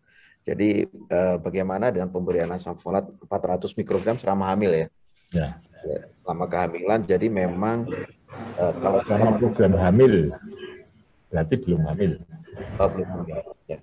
Jadi kalau kita mengacu pada rekomendasi dari beberapa perkumpulan sampai ke WHO, memang mereka-mereka yang risiko rendah, risiko rendah artinya mereka yang tidak punya riwayat eh, kehamilan sebelumnya dengan defect itu rekomendasinya adalah 400 mikrogram itu sudah cukup dan itu diberikan tiga bulan sebelum eh, hamil dan eh, kalau untuk neurologic defect itu dengan dosis yang tinggi dan cukup sampai tiga bulan. Tapi kalau kita melihat bahwa seorang ibu hamil itu kan eh, banyak risikonya juga, misalnya preeklamsia, kemudian partus prematurus dan anemi segala macam itu ada yang merekomendasikan diteruskan sampai ke kehamilan 9 bulan ya. Jadi kalau menurut saya ya kita ngikut rekomendasi memang eh, sebaiknya eh, kita tambah konsumsi asam folat karena eh, selain tubuh kita nggak bisa membuat ya membentuk juga yang kedua memang fungsinya banyak ya dan sudah dibuktikan di beberapa negara tadi kejadian neurologic defect-nya sangat rendah, ya. risiko kelainan lain misalnya preeklamsia juga menurun, berat badan bayi rendah juga menurun, ya. Jadi mungkin tidak ada salahnya kita uh, rutin mengkonsumsi bagi para ibu hamil dengan asam folat ini. Dosisnya uh, 400 kalau mereka yang tidak ada riwayat. Tapi kalau mereka punya riwayat kehamilan sebelumnya dengan neurologic defect dengan dosis yang agak tinggi. Nah ini yang masih terjadi perdebatan nih. Di negara kita kan mungkin sediaan yang ada tuh seribu ya. Kalau kita mengkonsumsi misalnya empat ribu ya eh, agak banyak juga kita harus mengkonsumsi obatnya itu ya. Ada lagi yang lima ribu. Di beberapa pusat fertilitas pun malah merekomendasikan lima ribu karena dianggap eh, adanya kekhawatiran eh, apa kalau 4000 mungkin masih kurang dengan 5000 mungkin sudah maksimal sehingga kebutuhan asam folat untuk folikulogenesis misalnya pada pasien infertil itu akan lebih baik.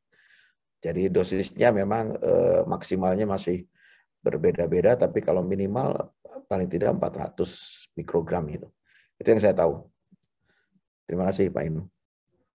Tadi ada malnutrisi kalau nggak salah ya. Terima kasih Dr. Salif. Mungkin Prof. Nur mau menambahkan? Sesuai dengan konsensus Prof, karena tadi konsensusnya tidak disebutkan dosisnya. Kalau nggak salah Prof tidak menyebutkan, jadi apakah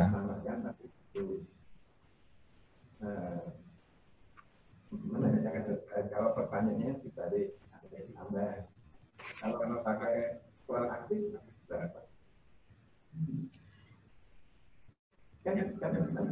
Ya. Jadi, jadi kalau diberikan pertanyaan tadi, ya. asam folat. Ya. Kalau tadi, ya. kalau di sini kan kan yang nama ya. Bisnisnya kan. Ya. Mungkin dengan Sarif. Mungkin Pak Sarif. Ini saya ditanya terus nih. ya, Prof. Jadi uh, karena ini baru ya, saya juga uh, mungkin belum familiar dengan penggunaan high folate ini. Jadi kalau lihat dari komposisinya mereka memang lebih rendah dibandingkan dengan sediaan uh, folate exit yang ada di pasaran. Ya misalnya 1000 itu comparable kayaknya di bawah 1000 ya. Terus yang 400 pun nggak nyampe 400. Artinya uh, mereka dengan dosis yang kecil saja itu sudah bisa masuk ke dalam Eh, penyerapan gaster dan tidak ada yang berkurang dosisnya. Jadi tidak perlu dosis yang setara, Prof. Jadi agak rendah kayaknya. Mungkin nanti dari Bu Marilyn yang yang produk yang sudah diteliti dari uh, apa beberapa company terutama di luar negeri ya. Kayaknya kan mereka sudah menggunakan generasi keempat ini. Mungkin Bu Marilyn bisa menambahkan ya. mengenai dosis ini. Silahkan. Perbandingannya itu. Kalau, kalau dilihat dari ininya apa listnya 1100 ya. mikrogram ya. Ya, uh, dokter. Ya, terima kasih banyak. Jadi mungkin sedikit uh, kami sampaikan kami menggunakan yang 5 metode tetrahidrofolat yang glukosamin salt itu memang 1100 mikrogram. Tapi kalau dikonversi terhadap bobot asam folat di kita konversikan disamakan itu setara dengan asam folat 593 mikrogram. Kemudian uh, kalau kita konversikan terhadap folat, terhadap folat itu setara dengan 989 mikrogram dokter. Kalau disetarakan terhadap bobot molekulnya. Iya dok. Jadi artinya kalau untuk ini misalnya digunakan ya, misalnya digunakan sebagai apa namanya uh, digunakan untuk pengelolaan perencanaan hamil itu kan kalau untuk yang low risk itu kan menggunakan 400 mikrogram asam folat biasa Bu Merlin. Nah kalau untuk yang high folic ini anjurannya kalau untuk yang low level tadi untuk yang tidak punya apa namanya eh, riwayat terjadi neurologic defect itu separuhnya gitu kan atau satu tablet atau gimana itu. Kan kalau Bu Merlin tadi bilang bahwa setara dengan 500 berarti kan eh, ini dua kali lipatnya gitu kan kira-kira gitu. Jadi gimana? Iya uh, jadi kalau yang evidence base yang kami dapatkan dari uh, genosisnya dokter ada penelitian juga yang menggunakan 5 mthf bahkan sampai 5 mg cuma kalau misalnya dibandingkan kesetaraannya di dalam konsentrasi plasmanya itu uh, dari dari genosisnya itu meneliti dibandingkan antara asam folat, kemudian juga yang gen folat generasi 3, kemudian juga dengan folat generasi keempat. Nah, kalau kita bandingkannya, folat generasi kedua atau asam folat dan folat generasi keempat terhadap konsentrasi plasmanya pada dosis penggunaan yang sama itu 5 MTHF atau folat generasi keempatnya itu tiga kalinya dokter jika diukur konsentrasi puncak plasmanya. Tiga kalinya asam folat ya? Betul dokter. Jadi gimana dokter saya bisa disimpulkan seperti jadi memberikannya sepertiganya atau setengahnya atau gimana? Kira-kira gitu. Ini kan memang belum ada belum ada ya. Ininya ya. Uh, ada penelitian yang dari Italia itu yang sudah agak lama itu mereka uh, ya sepertiganya sudah cukup itu karena mereka tidak membutuhkan metabolisme yang berlebihan. Jadi apa yang dikonsumsi akan langsung diabsorpsi dan bisa beredar ke darah. Ya. Jadi ini mungkin sedikit saya nambahkan ya, Dokter Sarif ya. ya. Karena memang ini agak biar nggak bingung gitu. Jadi tadi kan dikatakan bahwa pemberian asam folat yang berlebih itu kan akan mengakibatkan ya. uh, kurang baik karena terjadi uh, bisa terjadi perhomosistein ya dan sebagainya. Eh, dan OM sorry OM apa namanya? Unmetabolis gitu ya. Jadi unmetabolis uh, folat gitu. Itu kan mengakibatkan penumpukan yang akhirnya menjadi nggak baik. Nah kalau misalnya ini kan zat aktif gitu berikan BB itu berarti kan efeknya bukan unmetaboliknya itu. Nah ada nggak pengaruhnya terhadap pemberiannya BB itu? Terhadap pasien? Misalnya dengan pemberian ini kan dibentuk kulit dan ini yang berlebih gitu tentu saja atau yang lainnya gitu. Ada ada apa namanya? Efek itu gitu? Saya berjualan adalah kelebihan itu ini. Jadi asam folat itu kamu bisa buka itu enggak? lima DHF ya lima di orang. Supaya bisa masuk khusus terkena. Kalau kita dosisnya berlebihan, jadi kita tetap terbatas. Akibatnya apa? Mungkin ada asam yang tidak melewati proses asam sehingga akan dimulai dari UFA tadi. Nah ini kalau semakin banyak yang memberikan asam folat dan terjadi penimbunan, dampak dari uh, unmetabolized dari yang tadi uh, menjadi isu ini di antaranya adalah hasil tadi yang paling ramai itu nanti kalau kelebihan bisa apa ya bisa mencegah uh, apa, uh, sistem itu kita tidak bagus. Ya, bisa mencegah terjadi uh, kemudian juga uh, ada hubungannya dengan fungsi kognitif dengan fungsi demensia kalau kemudian jadi tentu harus tidak.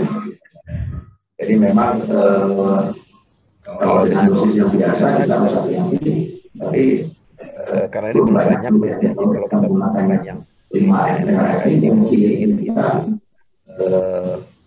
karena dia tidak membutuhkan sekitar lima miligram tadi. Ya mungkin kita tidak butuh dosis yang tinggi secukupnya saja. Uh, dan tidak ada dari sekitar tadi banyak tadi jadi lebih aman. Saya, ya, saya setuju dengan jawaban uh, Dr. Sarif ya. ya. Saya setuju dengan jawaban Dr. Sarif tadi. Sebagai contohnya begini, pada laporan case series tadi, pasien yang uh, dengan uh, istilahnya pencegahan untuk neurological ya, neural defect kan diberikan 5 mg asam folat nggak berhasil tapi setelah diberikan 800 mg eh, ini 5 MDHF ini malah berhasil. Ya, dengan dosis eh, 800 ml pada. Ya. Sedangkan preparat yang high folic ini kan 1100. Ya. Nah, jadi 800 saja sudah mewakili 5 mg asam folat. Hmm, berarti kan kemungkinan dosisnya. Makanya ini uh, perlu suatu penelitian. Saya kira bagus, tapi masih perlu penelitian-penelitian terus. Ya, jadi itu. Jadi kalau tadi pertanyaannya kalau diberi ini dosis tinggi dari 5 MTAF ini bagaimana? Karena ini sudah aktif, ya berarti tidak mempunyai uh, unmetabolize, kan? jadi artinya dipakai, cuma uh, uh, mungkin malah kelebihan dosis istilahnya kelebihan. Oh, ya, boleh, boleh, tapi yang dibentuk itu uh, akan berbahaya nggak, Prof? Oleh uh, ya, itu yang harus di makanya harus diteliti. Artinya dibuat suatu penelitian randomized control trial perbedaan antara asam folat yang folik acid dibandingkan 5 MTHF. Misalnya kan begitu. Baik itu untuk misalnya pencegahan ano, neural tube defect, kemudian untuk yang lain-lain ya. Tapi yang penting ada randomized control trial penelitian ini enggak ada. Ini baru case series, case series, case series. Untuk bidang kita loh ya. Tapi kalau yang di bidang metabolis itu sudah banyak meta analisisnya, tetapi belum terlalu banyak, maka masih disimpulkan uh, belum ada kepastian untuk uh, apa simpulannya. Tetapi kelihatannya Eh, menjurusnya sih bagus. Penelitian-penelitian tersebut menjurusnya bagus. Tapi uh, tetapi perlu tindak lanjut apalagi yang untuk di bidang fertilitas ya. Saya rasa itu. Itu tambahan saya. Ya. Uh, Prof. Nur, uh, Dokter ini dan Dokter Sarif, boleh izin kami share sedikit saja rekomendasi uh, dosis berdasarkan approval FDA? Oh, silakan. silakan, justru itu yang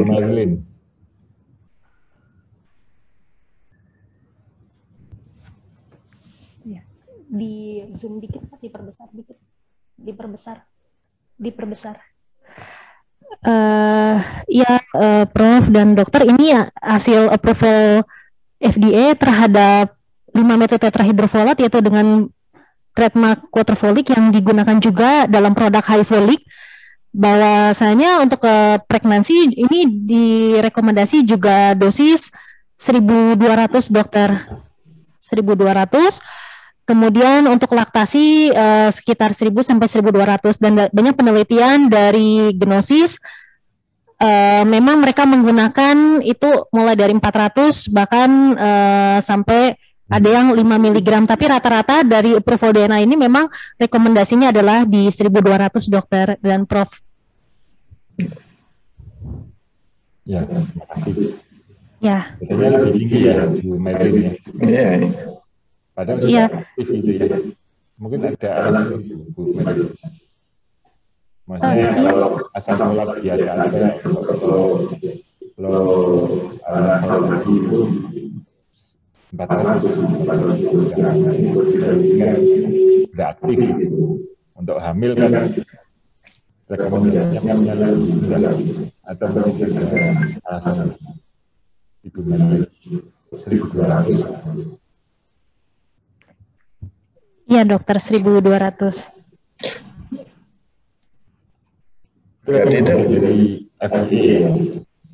Iya, ini uh, dokumen internal genosis sebenarnya uh, dokter. Jadi kami uh, mungkin sedikit scroll ke atas saja karena ini dokumen internal.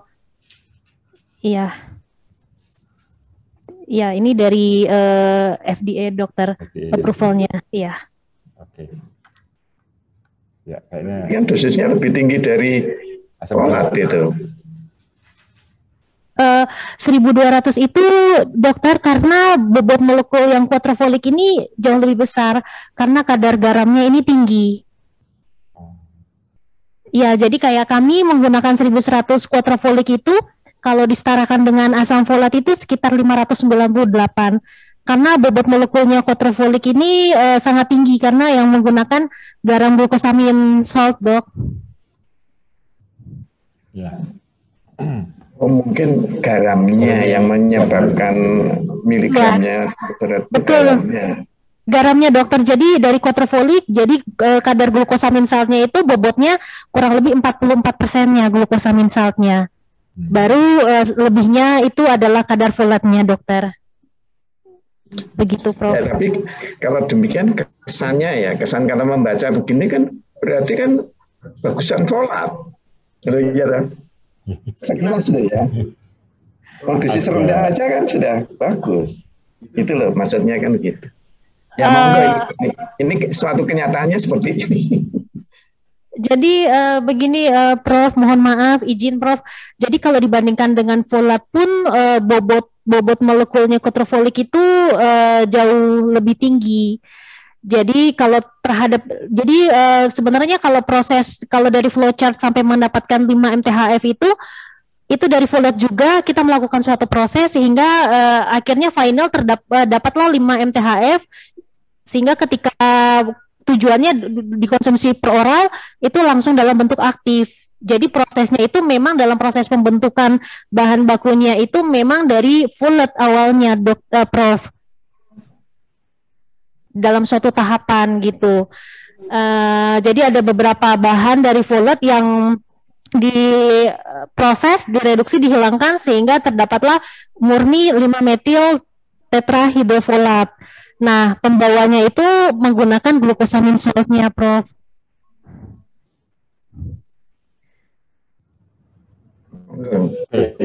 Ya, terima kasih Fadlin atas keterangannya. Meskipun terang masih agak kontradiktif mengenai penggunaan ya, karena memang kita kalau itu efektifnya gitu setelah. Oke, uh, kemudian kita menginjak ke pertanyaan selanjutnya. memang sangat menarik ya mungkin perlu kajian khusus tentang ya. Kemudian pertanyaan kedua adalah uh, dari Dr. Kartika Lestari, izin bertanya dok, bagaimana dengan insiden lip tie dan tong tie mungkin ini anu ya apa namanya uh, apa kelainan kayak sumbing apa ya yang katanya baik yang katanya meningkat sejalan dengan meningkatnya pembelian asam folat selama kehamilan. Apa hal ini terkait dengan UMFA? Silakan Dr. Sarif. Jadi dengan unmetabolic asam folat tadi itu, apakah ada kaitannya dengan kelainan itu?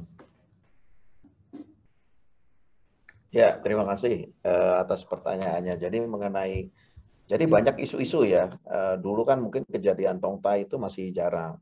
Terus sekarang kan hampir semua ibu hamil itu mengkonsumsi asam folat. Nah, terus banyak kejadian seperti tongtai. Jadi kejadian tongtai atau ada semacam sekat di uh, itu diduga mungkin karena konsumsi daripada asam folat.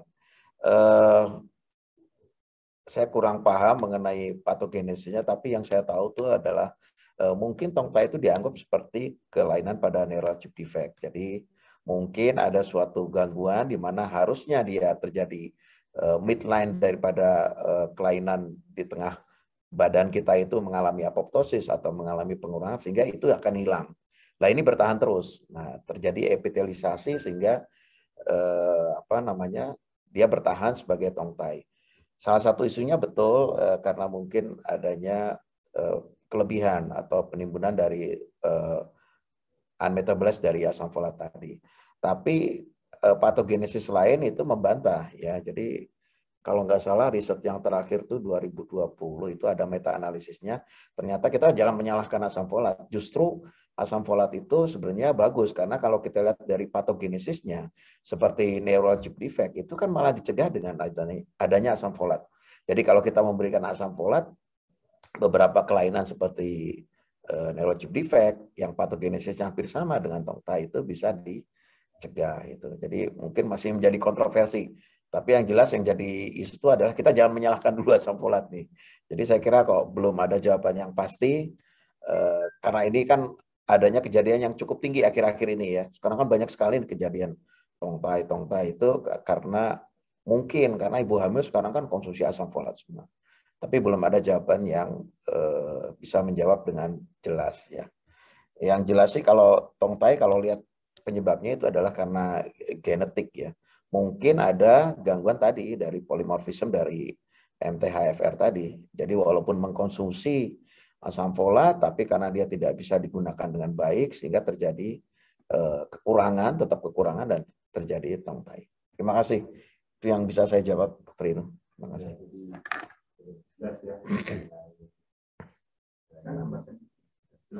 Ya. Kan bahwa eh, unmetabolize tadi. Efeknya tidak tidak banyak hubungannya dengan uh, kita. Hanya inverted hanya imun saja yang yang berhubungan dengan kita. Lainnya di luar anu di luar uh, reproduktif health. Jadi itu tadi kan saya tayangkan itu. Ya jadi ya ya. Dan mengenai unmetabolis tadi kan kesimpulannya kan belum uh, clear ya belum clear mengenai ya. Jadi kemudian kita langsung ke pertanyaan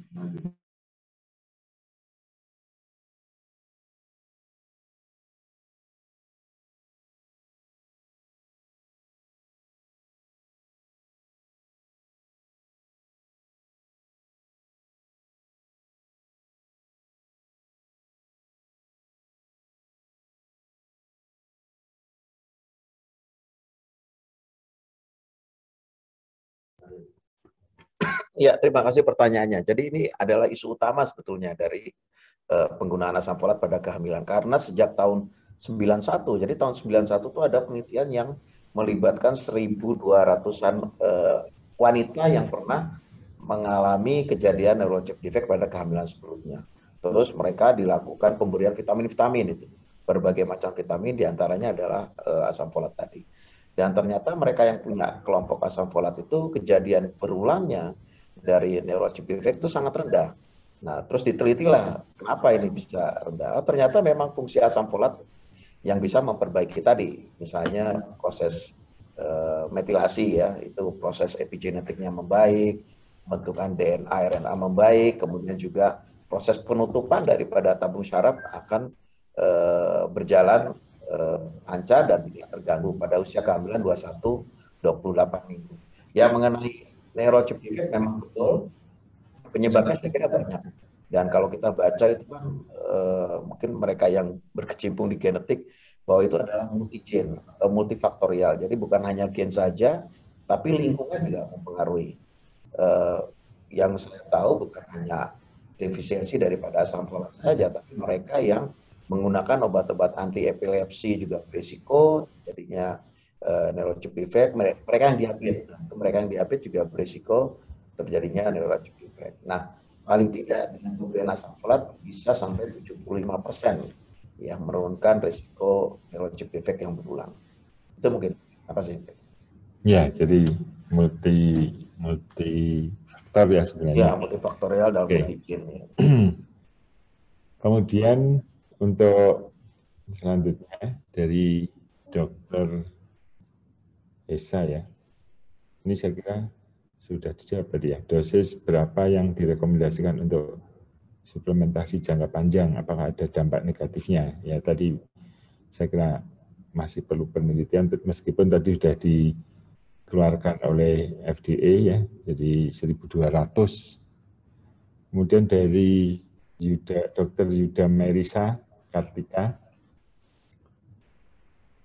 Izin pertama, izin bertanya, apakah ada risiko penggunaan asam folat dosis tinggi selama kehamilan terhadap kejadian autisme?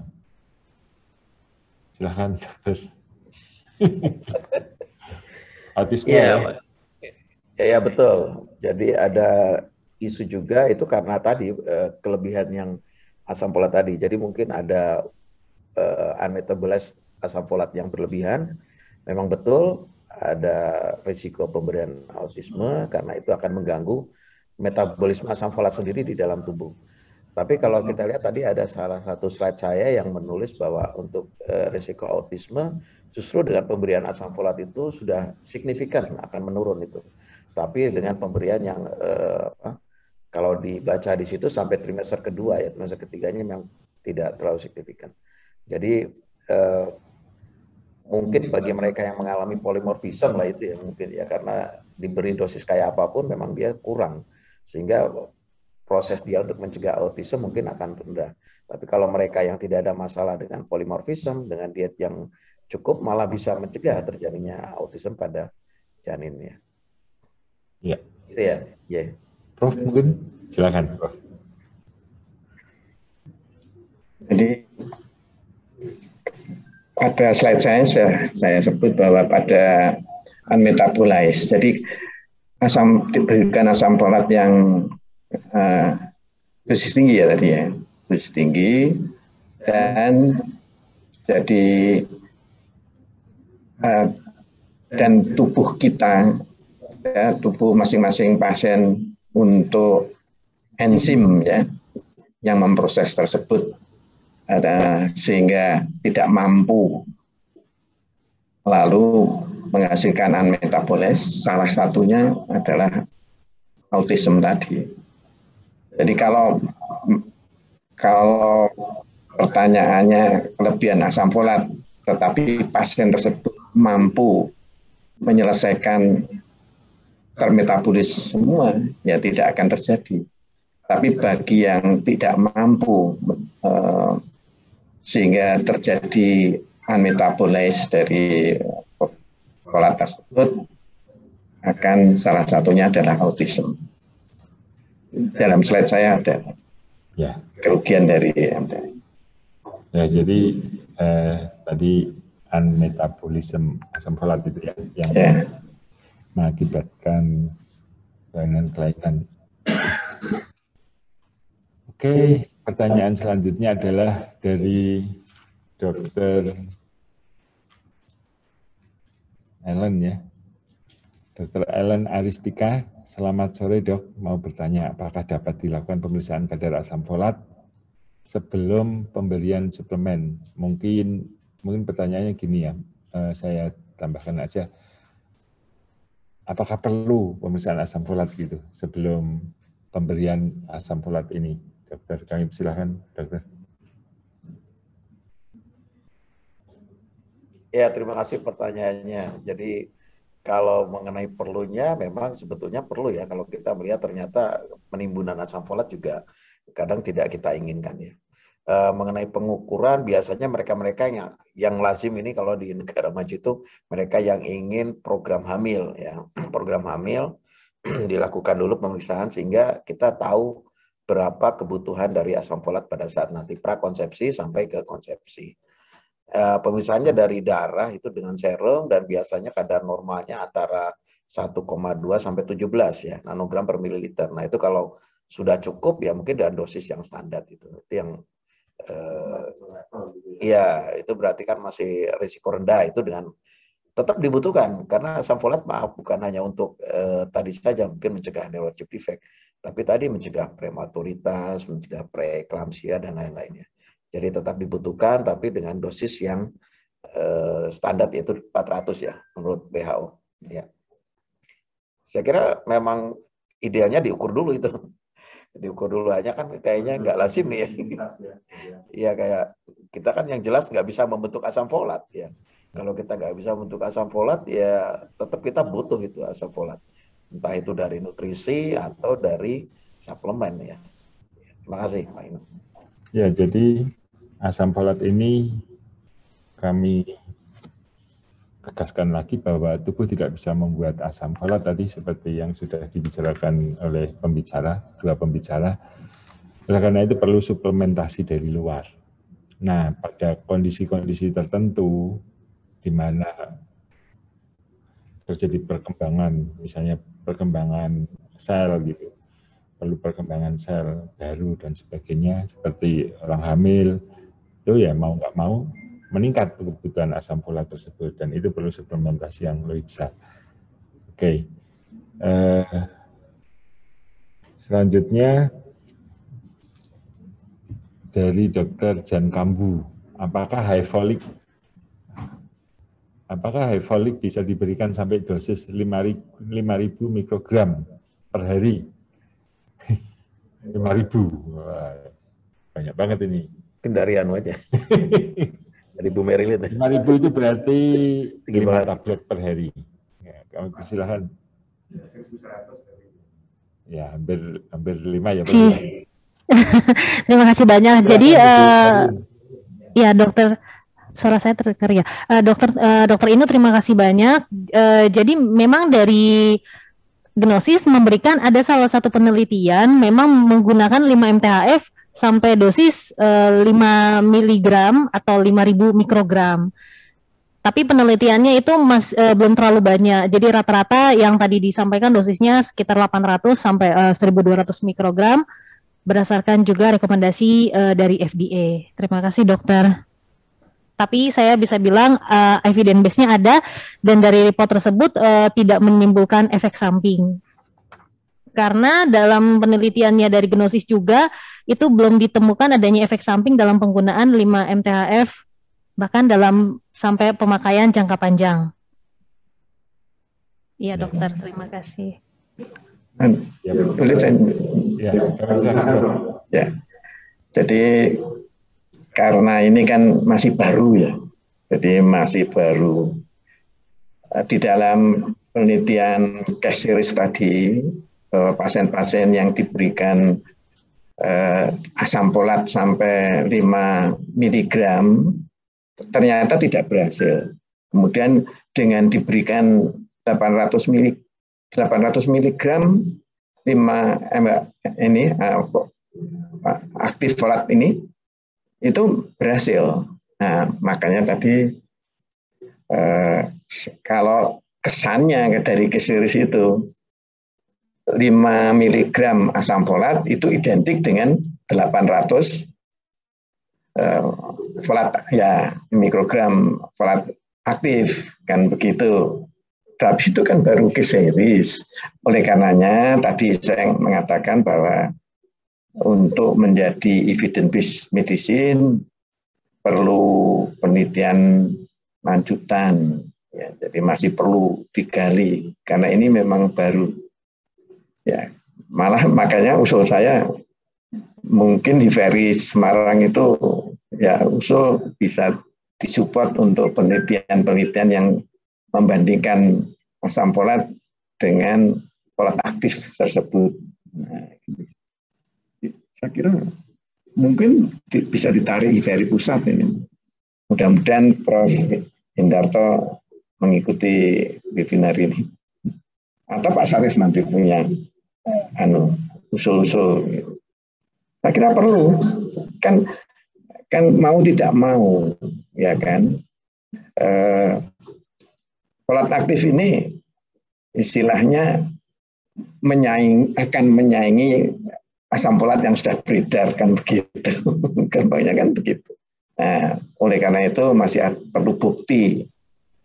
Nah, sedangkan bukti-bukti penelitian ini masih level evidence-nya masih uh, Level evidence empat.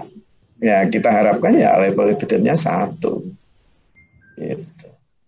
Jadi nanti untuk dibicarakan next time pada konsensus IFERI mengenai uh, polat ini. Nah, mudah-mudahan sudah banyak penelitian sehingga bisa masuk. Ya, mungkin. Ya, jadi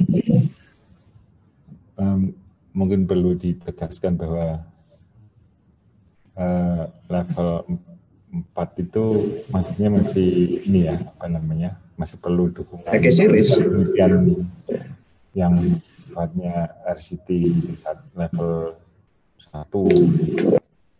Baru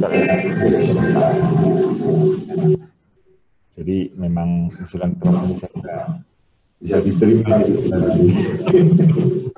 karena gini secara teoritis memang sebenarnya bagus gitu MTH ini apa namanya MTHF ini kan memang itu data ini kan zat aktif yang saya, kira secara teoritis kita semua tahu bahwa ini bagus itu tidak perlu enzim imam itu apa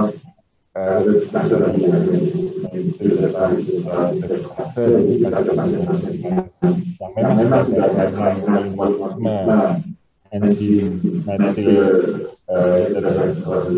ya akan lebih efektif untuk pemberian ini apa high folic ini saya kira. Oke, okay, uh, mudah-mudahan ditindaklanjuti nanti oleh SIMAC. Kemudian selanjutnya adalah uh, dari Dr. Besari Adi Pramono, keragaman genom yang mewarisi kelompok etnis dan individu, apakah apakah berpengaruh terhadap bioavailability zat gizi. Mohon pencerahannya Dr. Sarif dan juga Prof. Silakan. Dr. Sarif. Kami silakan. Jadi apakah ada etnis ini berpengaruh itu? Ya, terima kasih. Pertanyaannya sulit juga nih. Ya, Bro. Jadi kalau kita bicara mengenai genom kan sekarang ada namanya nutrigenomik ya. Nutrigenomik. Jadi uh, apakah ada masalah genom dengan nutrisi yang dikonsumsi pada ibu hamil ini yang menjadi isu sekarang ini. Artinya seperti asam folat misalnya. Kenapa kok kita sudah kasih asam folat dosisnya bagus kok masih terjadi apa eh, kekurangan atau defisiensi atau eh, apa tidak bisa bekerja dengan optimal. Satu contoh mungkin saya ambil contoh adalah di asam folat ini aja. Jadi MTHFR. MTHFR itu memang betul ada tiga polimorfisme yang sudah dikenal di dunia. Yang paling tuh yang paling sering itu adalah uh, polimorfisme dari C ke T dari 677. Jadi posisi 677 asam amino itu ada perubahan dari sitosin ke timin. Nah, uh, kalau itu ada suatu homosigot dari yang T, berarti T itu kan berarti yang yang bukan bentuk wild type.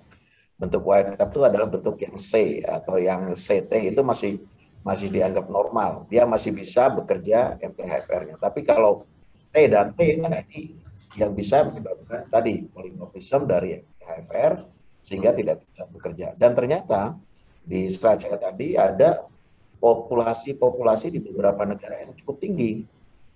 Jadi uh, polimorfisme dari MTHFR ini sangat tinggi sekali. Bahkan dikatakan di seluruh dunia, tiga dari sepuluh wanita itu mengalami polimorfisme ini. Jadi kita tahu bahwa polimorfisme itu adalah bukan sesuatu yang uh, apa, bukan mutasi. Kalau mutasi itu kan pasti akan diturunkan. Kalau polimorfisme belum tentu diturunkan. Nah ini yang menjadi menarik. Kalau memang tiga dari sepuluh uh, wanita itu mengalami problem pada nutrigenomiknya, pada MTHF, ya mungkin uh, ini harus menjadi konten kita bahwa mungkin kita perlu melakukan pemeriksaan misalnya screening sehingga bagi mereka yang ada polimorfisme kita bisa membypass. Jadi pemberian asam folatnya adalah bentuk yang tidak membutuhkan uh, eh, MTHFR ini. Jadi jadi ada korelasi antara uh, distribusi daripada tadi uh, kelainan-kelainan genom tadi dengan nanti mungkin pada aplikasinya ya, pada klinisnya. Ya, apakah kita perlu mempertimbangkan bagi mereka-mereka yang polimorfisme ini dengan obat yang jenis lain atau karena percuma mereka tidak akan bisa membentuk eh, perubahan dari 510 MTHF menjadi 5 MTHF tadi. Jadi dikasih dosis seperti apa pun tidak akan bisa bekerja. Nah, mereka yang mengalami polimorfisme ini ya kita membypass saja produk aktifnya saja.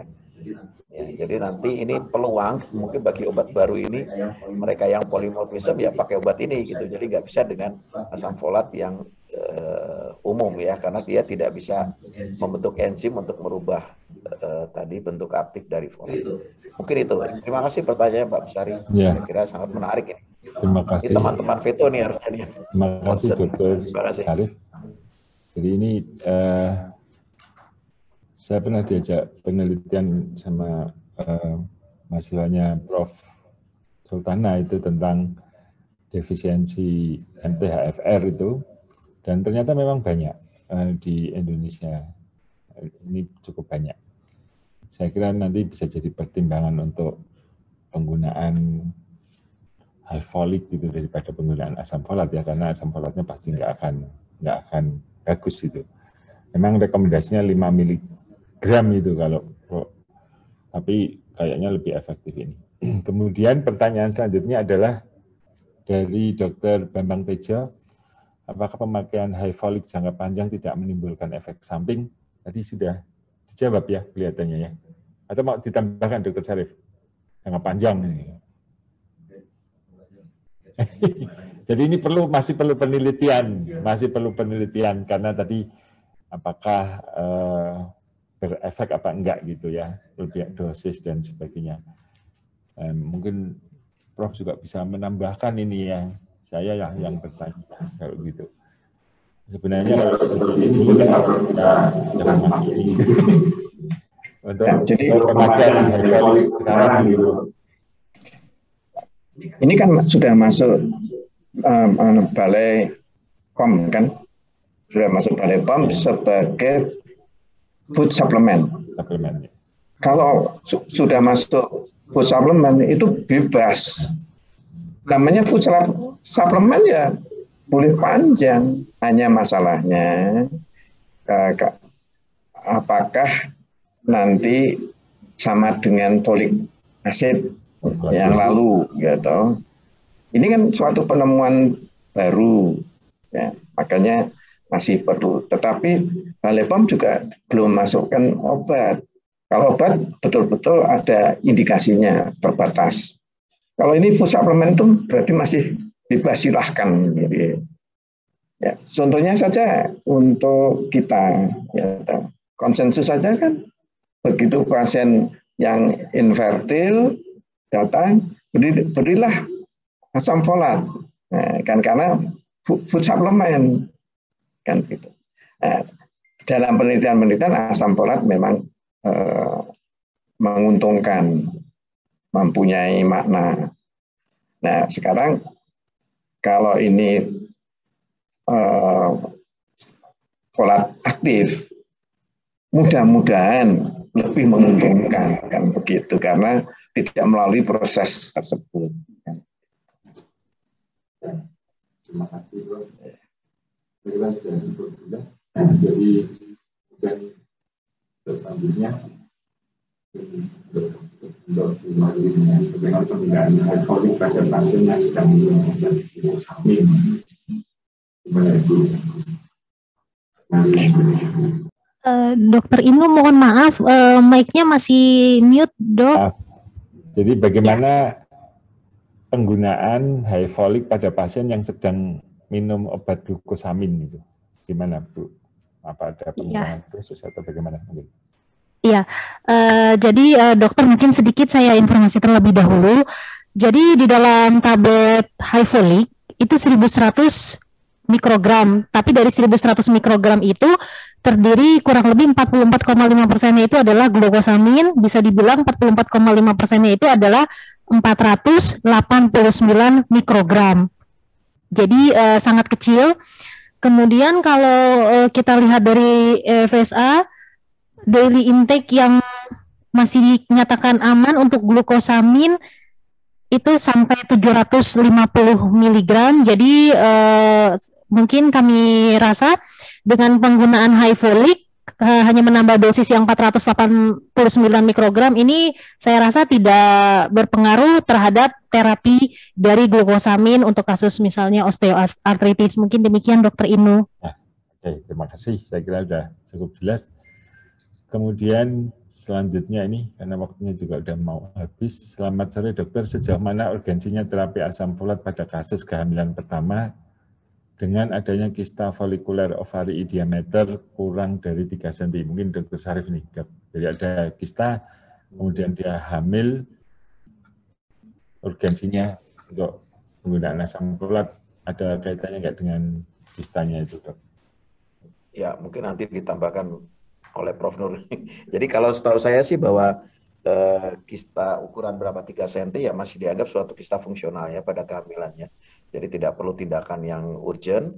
Ya saya kira fokus ke kehamilannya saja. Kita tetap memberikan asam folat dengan dosis antara 400 ya ada yang 600 kalau risiko tinggi ya bisa sampai 4000 eh, itu uh, fokus kita karena untuk kehamilannya. Tapi untuk kista ukuran 3 cm dan kalau dia berhasil hamil saya kira tidak masalah. Kan sering terjadinya corpus luteum persisten namanya. Itu yang kadang-kadang kita kalau di USG dikira kista penyakit tapi sebetulnya adalah corpus luteum yang memang dipertahankan untuk uh, memproduksi hormon progesteron dan ini nggak harus dilakukan tindakan. Terima kasih. Ada menambahkan, Prof? Saya rasa sama dengan Dr. Sarif ya. Jadi sesuai dengan pertanyaan ya tidak ada pengaruhnya atau asam folat terhadap uh, apa kita ovarium apalagi masih ya. fungsional. Ya, eh, pertanyaan ini sebenarnya waktunya sudah habis ya 17. Tapi ada masih ada dua pertanyaan mau dijawab Pak. Tambah dikit ya. Ada beberapa jenis folat, ada folinik acid, asam folat dan folik acid. Apakah ada perbedaan bioavailabilitas terhadap ketiga jenis tersebut? Saya kira ini sudah dijawab oleh Ibu Marilyn tadi ya dari presentasinya. Kemudian Dr. Adi Setiawan sebetulnya tidak saja dibutuhkan asam folat, namun ada peranan vital dari kofaktor seperti vitamin B12. Jangan dilupakan peranan vitamin B12 dan juga niacin pada hiperhomosisteinemia. Ini saya kira sudah ada pada slide. Menambahkan ya, ini ya. Terima kasih. Terima kasih, Saya kira kita tidak melupakan faktor-faktor itu. Tadi di slide-nya Pak Sarif sama slide saya sudah ada itu. Ya, tadi juga di 12. ada di dalam slide-nya Dr. Sarif dan Profesor Nur Pramono. Saya kira semua pertanyaan sudah dijawab dan seperti janji saya tadi ada 10 penanya nanti yang akan mendapatkan dosen sendiri. Nanti kalau misalnya misalnya di alamatnya, eh, monggo di persilahkan untuk mengirim alamatnya nanti sama Mbak Arin ya. Ada Dokter Ambarwati, kemudian Dokter Kartika Lestari, Dokter Rizka Pramudita, Dokter Hesa Kusuma, kemudian Dokter Yuda Melisa, Dokter Ellen Arista, kemudian Dokter Jan Kambu, Dokter Besari, Dr. Bambang Tejo dan Dr. Leopold Krisno 10 penanya pertama. Nanti akan dikirim medianya melalui alamatnya. Terima kasih atas peran sertanya dalam diskusi ini. Saya kira ini merupakan diskusi yang sangat menarik. Ada rekomendasi penelitiannya juga mudah-mudahan nanti bisa ditindaklanjuti oleh Ferry dan oleh uh, farmasi. Saya kira saya tidak akan menyimpulkan karena semua sudah tersimpulkan oleh kedua pembicara yang sangat hebat ini. Terima kasih kepada semuanya. Mohon maaf atas segala kehilafan. Sekali lagi kita beri eh, sebelum kita akhiri kita beri plus kepada kedua pembicara. Terima kasih. Dan akhirnya kami persilahkan, eh, kami kembalikan waktunya kepada MC, Dr. Nurvita. Kami persilahkan Dr. Nurvita. Ya, terima kasih dokter untuk uh, kesempatannya, juga rekan-rekan semua yang sudah mengikuti sampai akhir acara. Sebelum uh, kita menutup, marilah untuk uh, para panelis untuk foto bersama. Bisa dinyalakan kameranya? Oke. Dalam hitungan tiga. Ya. Dalam hitungan tiga. Mari Bu Merlin. Satu, dua, tiga. Oke. Ya, satu kali lagi. Satu, dua, tiga. Oke. Ya, terima kasih banyak untuk waktunya dan kehadirannya. Juga pembicara yang hebat-hebat dan moderator yang komunikatif. Uh, kita bertemu kembali dengan acara webinar Hiveri. Semoga bermanfaat. Mohon maaf atas segala kesalahan. Wassalamualaikum warahmatullahi wabarakatuh. Waalaikumsalam warahmatullahi wabarakatuh. Ya, terima kasih Prof. Nur, Dr. Inu. Terima kasih, terima kasih. Terima kasih. Terima kasih semuanya. Ya. Terima kasih Prof. Nu, terima kasih Dokter Sarif, terima kasih ya, Dokter Inu, terima kasih Dokter Tervita, terima kasih Hiveri. Penelitiannya ya.